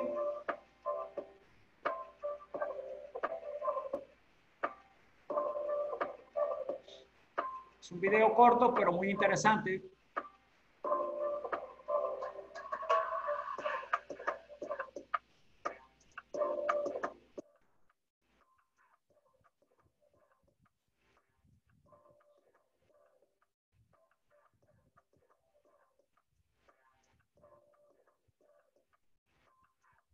Ahí tienen, miren el movimiento.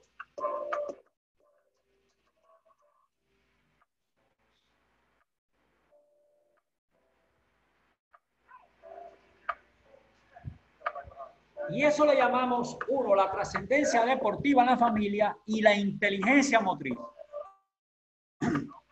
Se trata de, de que la inteligencia motriz está relacionada entre el pensamiento y el movimiento de la persona. Para hablar de motricidad. Observen. Y ahí tenemos lo que es posibilidad y potencialidad. Hay entrada lo mismo por la derecha que por la izquierda. Trabajo de la lateralidad, ¿verdad? Trabajo de percepción, es decir, una información perceptiva, ¿verdad? Distancia del aro, altura del aro. ¿Ok?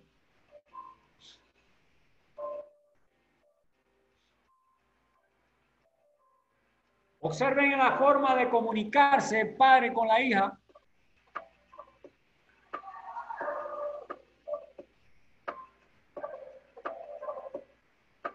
Observen cómo deberíamos nosotros como los entrenadores comunicarnos con nuestros atletas.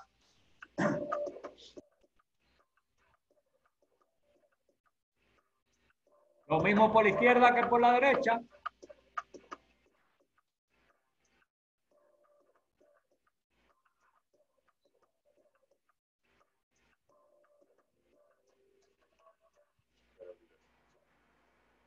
Bien.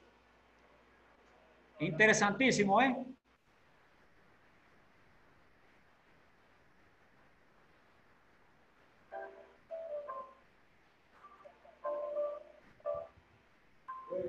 Saludos. ¿Cómo le está? Bien, vamos ahora a la selección de los futuros talentos en el balonmano. Un momentico que se me ha quedado aquí encendido el, el video y tengo que apagarlo.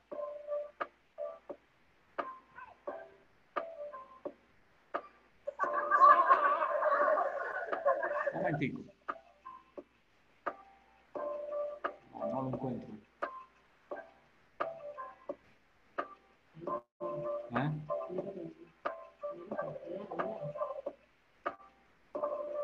Momentico que me está haciendo ruido aquí el video.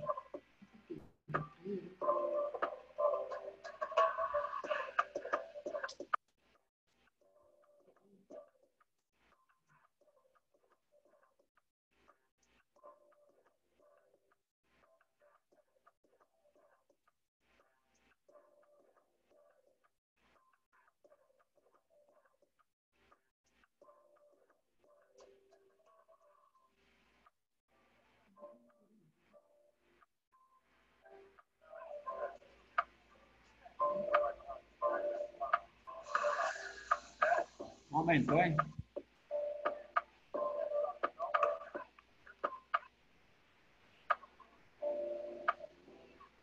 Ok.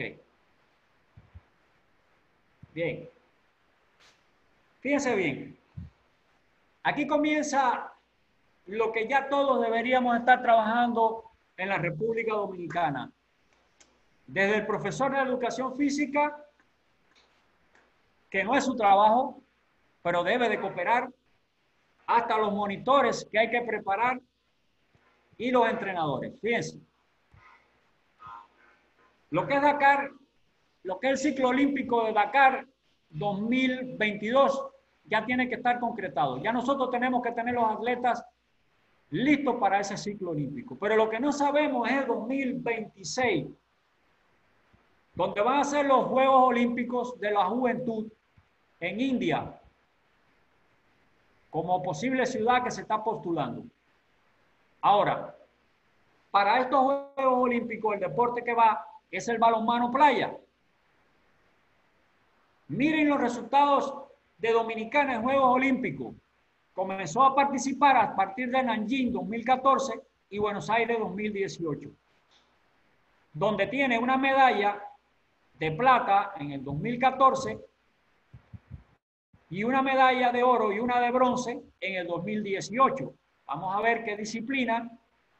Fíjense que eh, en las velas, una medalla de oro y una medalla de bronce en el badminton. Quiere decir que Dominicana es potencialidad en estas disciplinas, al menos en estas edades, que son hasta 18 años. Ahora, ¿Cuál es la ruta para llegar a una reserva deportiva de calidad y sostenible? Hay que tener en cuenta que la educación física, que no es el deporte, pero a la misma vez la educación física coopera en esta formación. ¿Y por qué decimos que coopera? Porque si tenemos en cuenta los modelos que tiene en consideración la educación física, actualmente uno es el modelo médico que tiene que ver con la parte de la parte biológica del entrenamiento deportivo, que no lo debe tener la educación física, porque es una educación física, en este caso atlética, que hoy en día muy pocos países la tienen. Pero la educación física sí se basa en la motricidad, perdón, en la psicomotricidad, en la sociomotricidad, en la expresión corporal, en la psicocinética, eh, considera el deporte como un medio, no como un fin, y esa es la tónica de la educación física, Pero si la educación física no sirve, no sienta las, las bases para trabajar las habilidades motrices básicas, las capacidades coordinativas, entonces esto sería un problema. Entonces, para tener en cuenta esa reserva deportiva de sostenibilidad, tenemos que considerar que hay que buscar una reserva deportiva y está dada en esas capacidades y perspectivas físicas, antropométricas, técnicas y tácticas y de rendimiento que puedan hacer que los niños a futuro lleguen a selecciones nacionales a corto, mediano y a largo plazo. Pero esto lo vamos a ver en el deporte escolar y el deporte escolar está en la escuela, en la escuela donde están los niños. ¿Verdad? Y aquí tenemos en esta pirámide las edades de iniciación donde se encuentran. Es decir, esto está dado o visto en la tabla que nosotros eh, le presentamos al inicio, ¿verdad? Bien. El balonmano playa. El balonmano playa tiene que hacer la búsqueda en estas edades. Y este es el año de nacimiento, 2008-2010. Hoy la edad actual es de 10 y 12 años. Para llegar a 16 y 18 años en 2026 en estas edades. Bueno, fíjense bien. Aquí hay que concentrar todo el proceso que nosotros venimos hablando desde el inicio, ¿verdad? Dicho sea de paso, caeríamos entonces en lo que es las pruebas que hay que tener en cuenta para la detección y selección del talento. Fíjense bien, estamos pasados con 30 minutos. Yo ahora eh, le digo a ustedes, porque es que son temas eh, extensos, son eh, cuestiones que, que, nos pueden hacer declinar y bajar, ¿cómo se llama?, la motivación. Si ustedes consideran que paramos o seguimos, porque tenemos cuatro días para todas estas actividades y cuatro, yo les dije a ustedes que tres días inicialmente, pero eh, después le dije cuatro días porque si queremos hacer una cosa bien, para hablar con calma, para que ustedes puedan entender, entonces podemos parar la actividad aquí, dejar este pedazo que queda aquí para darle continuidad a la próxima actividad o continuar. Por mi parte, no hay problema para continuar. Todo depende de ustedes. Entonces, ustedes deciden. Tiene la palabra, eh, profesor Gaby. Mire, profesor, eh, lo que pasa es que usted sabe que muchos de los participantes tienen otros compromisos.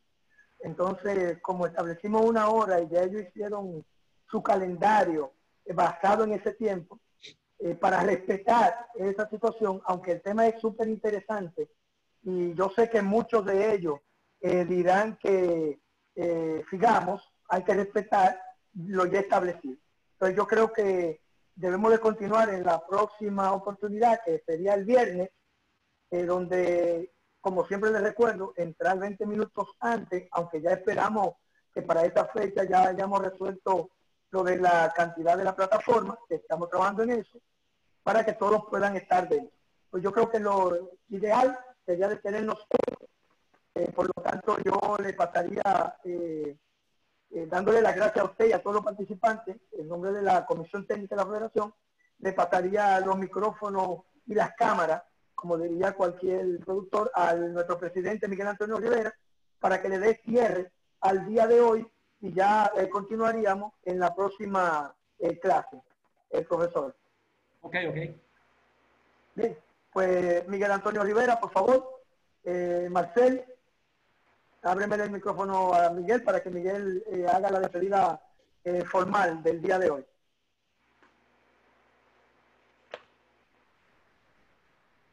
¿Me escuchan? Perfectamente. muchas gracias, profesor Richard. muchas gracias a la dirección técnica y a los participantes. eh, porque he visto que no se han movido de ahí, han estado muy atentos a lo que es la exposición suya, el curso, y pedirles disculpas en nombre de la federación porque la plataforma hoy solamente pudo permitir a 100 participantes. Ya estamos trabajando para ver si esta misma tarde se resuelven y pudiéramos tener la plataforma más amplia donde pudieran eh, estar en el curso más de 300 participantes, que por ahí que andan eh, las solicitudes. Eh, nada, profesor, muchas gracias. he quedado encantado de todo lo que he visto y lo que he escuchado por aquí, por, por el curso y por la, por la plataforma de Zoom y con, con continuar con esto con el mismo entusiasmo que estamos terminando hoy es una solicitud que le, le, hago a los participantes. De aquí van a aprender mucho, porque tenemos la, la suerte de que tenemos eh, una gran persona, eh, que es el profesor Richard, un conocedor de lo que es el balonmano y lo que es el deporte en sentido general, quien está a cargo de este curso conjuntamente con la dirección técnica. Eh, el desarrollo de nuestro deporte está aquí, en la base. Está en poder aprender y, y poder ampliar más lo que es la participación de nuevos jóvenes en lo que es el balonmano a nivel nacional, eh, tanto en las escuelas como en las asociaciones en la provincia. Estoy muy contento porque he visto que no hemos bajado de 100 y ya en el siguiente, eh, la siguiente posición creo que vamos a estar por los 300 participantes. Muchas gracias a todos, profesor, muchas gracias y felicidades a usted y a la dirección técnica de la federación y nada, nos vemos en la siguiente exposición. Un fuerte abrazo. Gracias por todo. Ok, gracias. Bien, Gravi. Bien, eh, Marcel, eh, le vamos a dar unos minutos a los muchachos para que abran sus cámaras, miren y se hagan una muestra de agradecimiento y de adiós y lo esperamos en la próxima clase. Marcel, muchas gracias por el trabajo, igual a todos los que están participando. Pueden abrir sus cámaras. Pero es bueno destacar, perdón Gaby, bueno destacar que eh, hoy mismo sale por YouTube, para los que no pudieron estar ahora, pudieran eh, esta tarde ya verlo por YouTube, eh, porque Marcel va a trabajar con eso temprano. O sea que todo el que no pudo participar, pidiéndole de nuevo disculpas y que ya lo podrán ver por YouTube. Aparte de eso, el curso se está grabando y lo van a tener a la disposición todo el que lo requiera. Ok, un abrazo. Muy bien. Entonces ahí pueden verse. Hola, ¿cómo están? Veo caras conocidas, caras muy conocidas de mucho tiempo. Voy a hacer un saludo especial ahí a una ex compañera mía de docencia en los años, no puedo decir los años porque después van a decir que ya es muy mayor. Eh, Miguelina Hinojosa, un placer verte. Eh, nada, eh, pueden eh, saludarse. Ya ustedes saben que si hablan todo al mismo tiempo, pues no nos vamos a entender. Así es que un placer. Miren a mi compañero, ¿dónde está Roberto? Roberto, ¿dónde estás? Ah, Roberto está trabajando en otra área. Bien, pero entonces ya ustedes saben. Bien, nos vemos el viernes. Cuídense y feliz resto del día.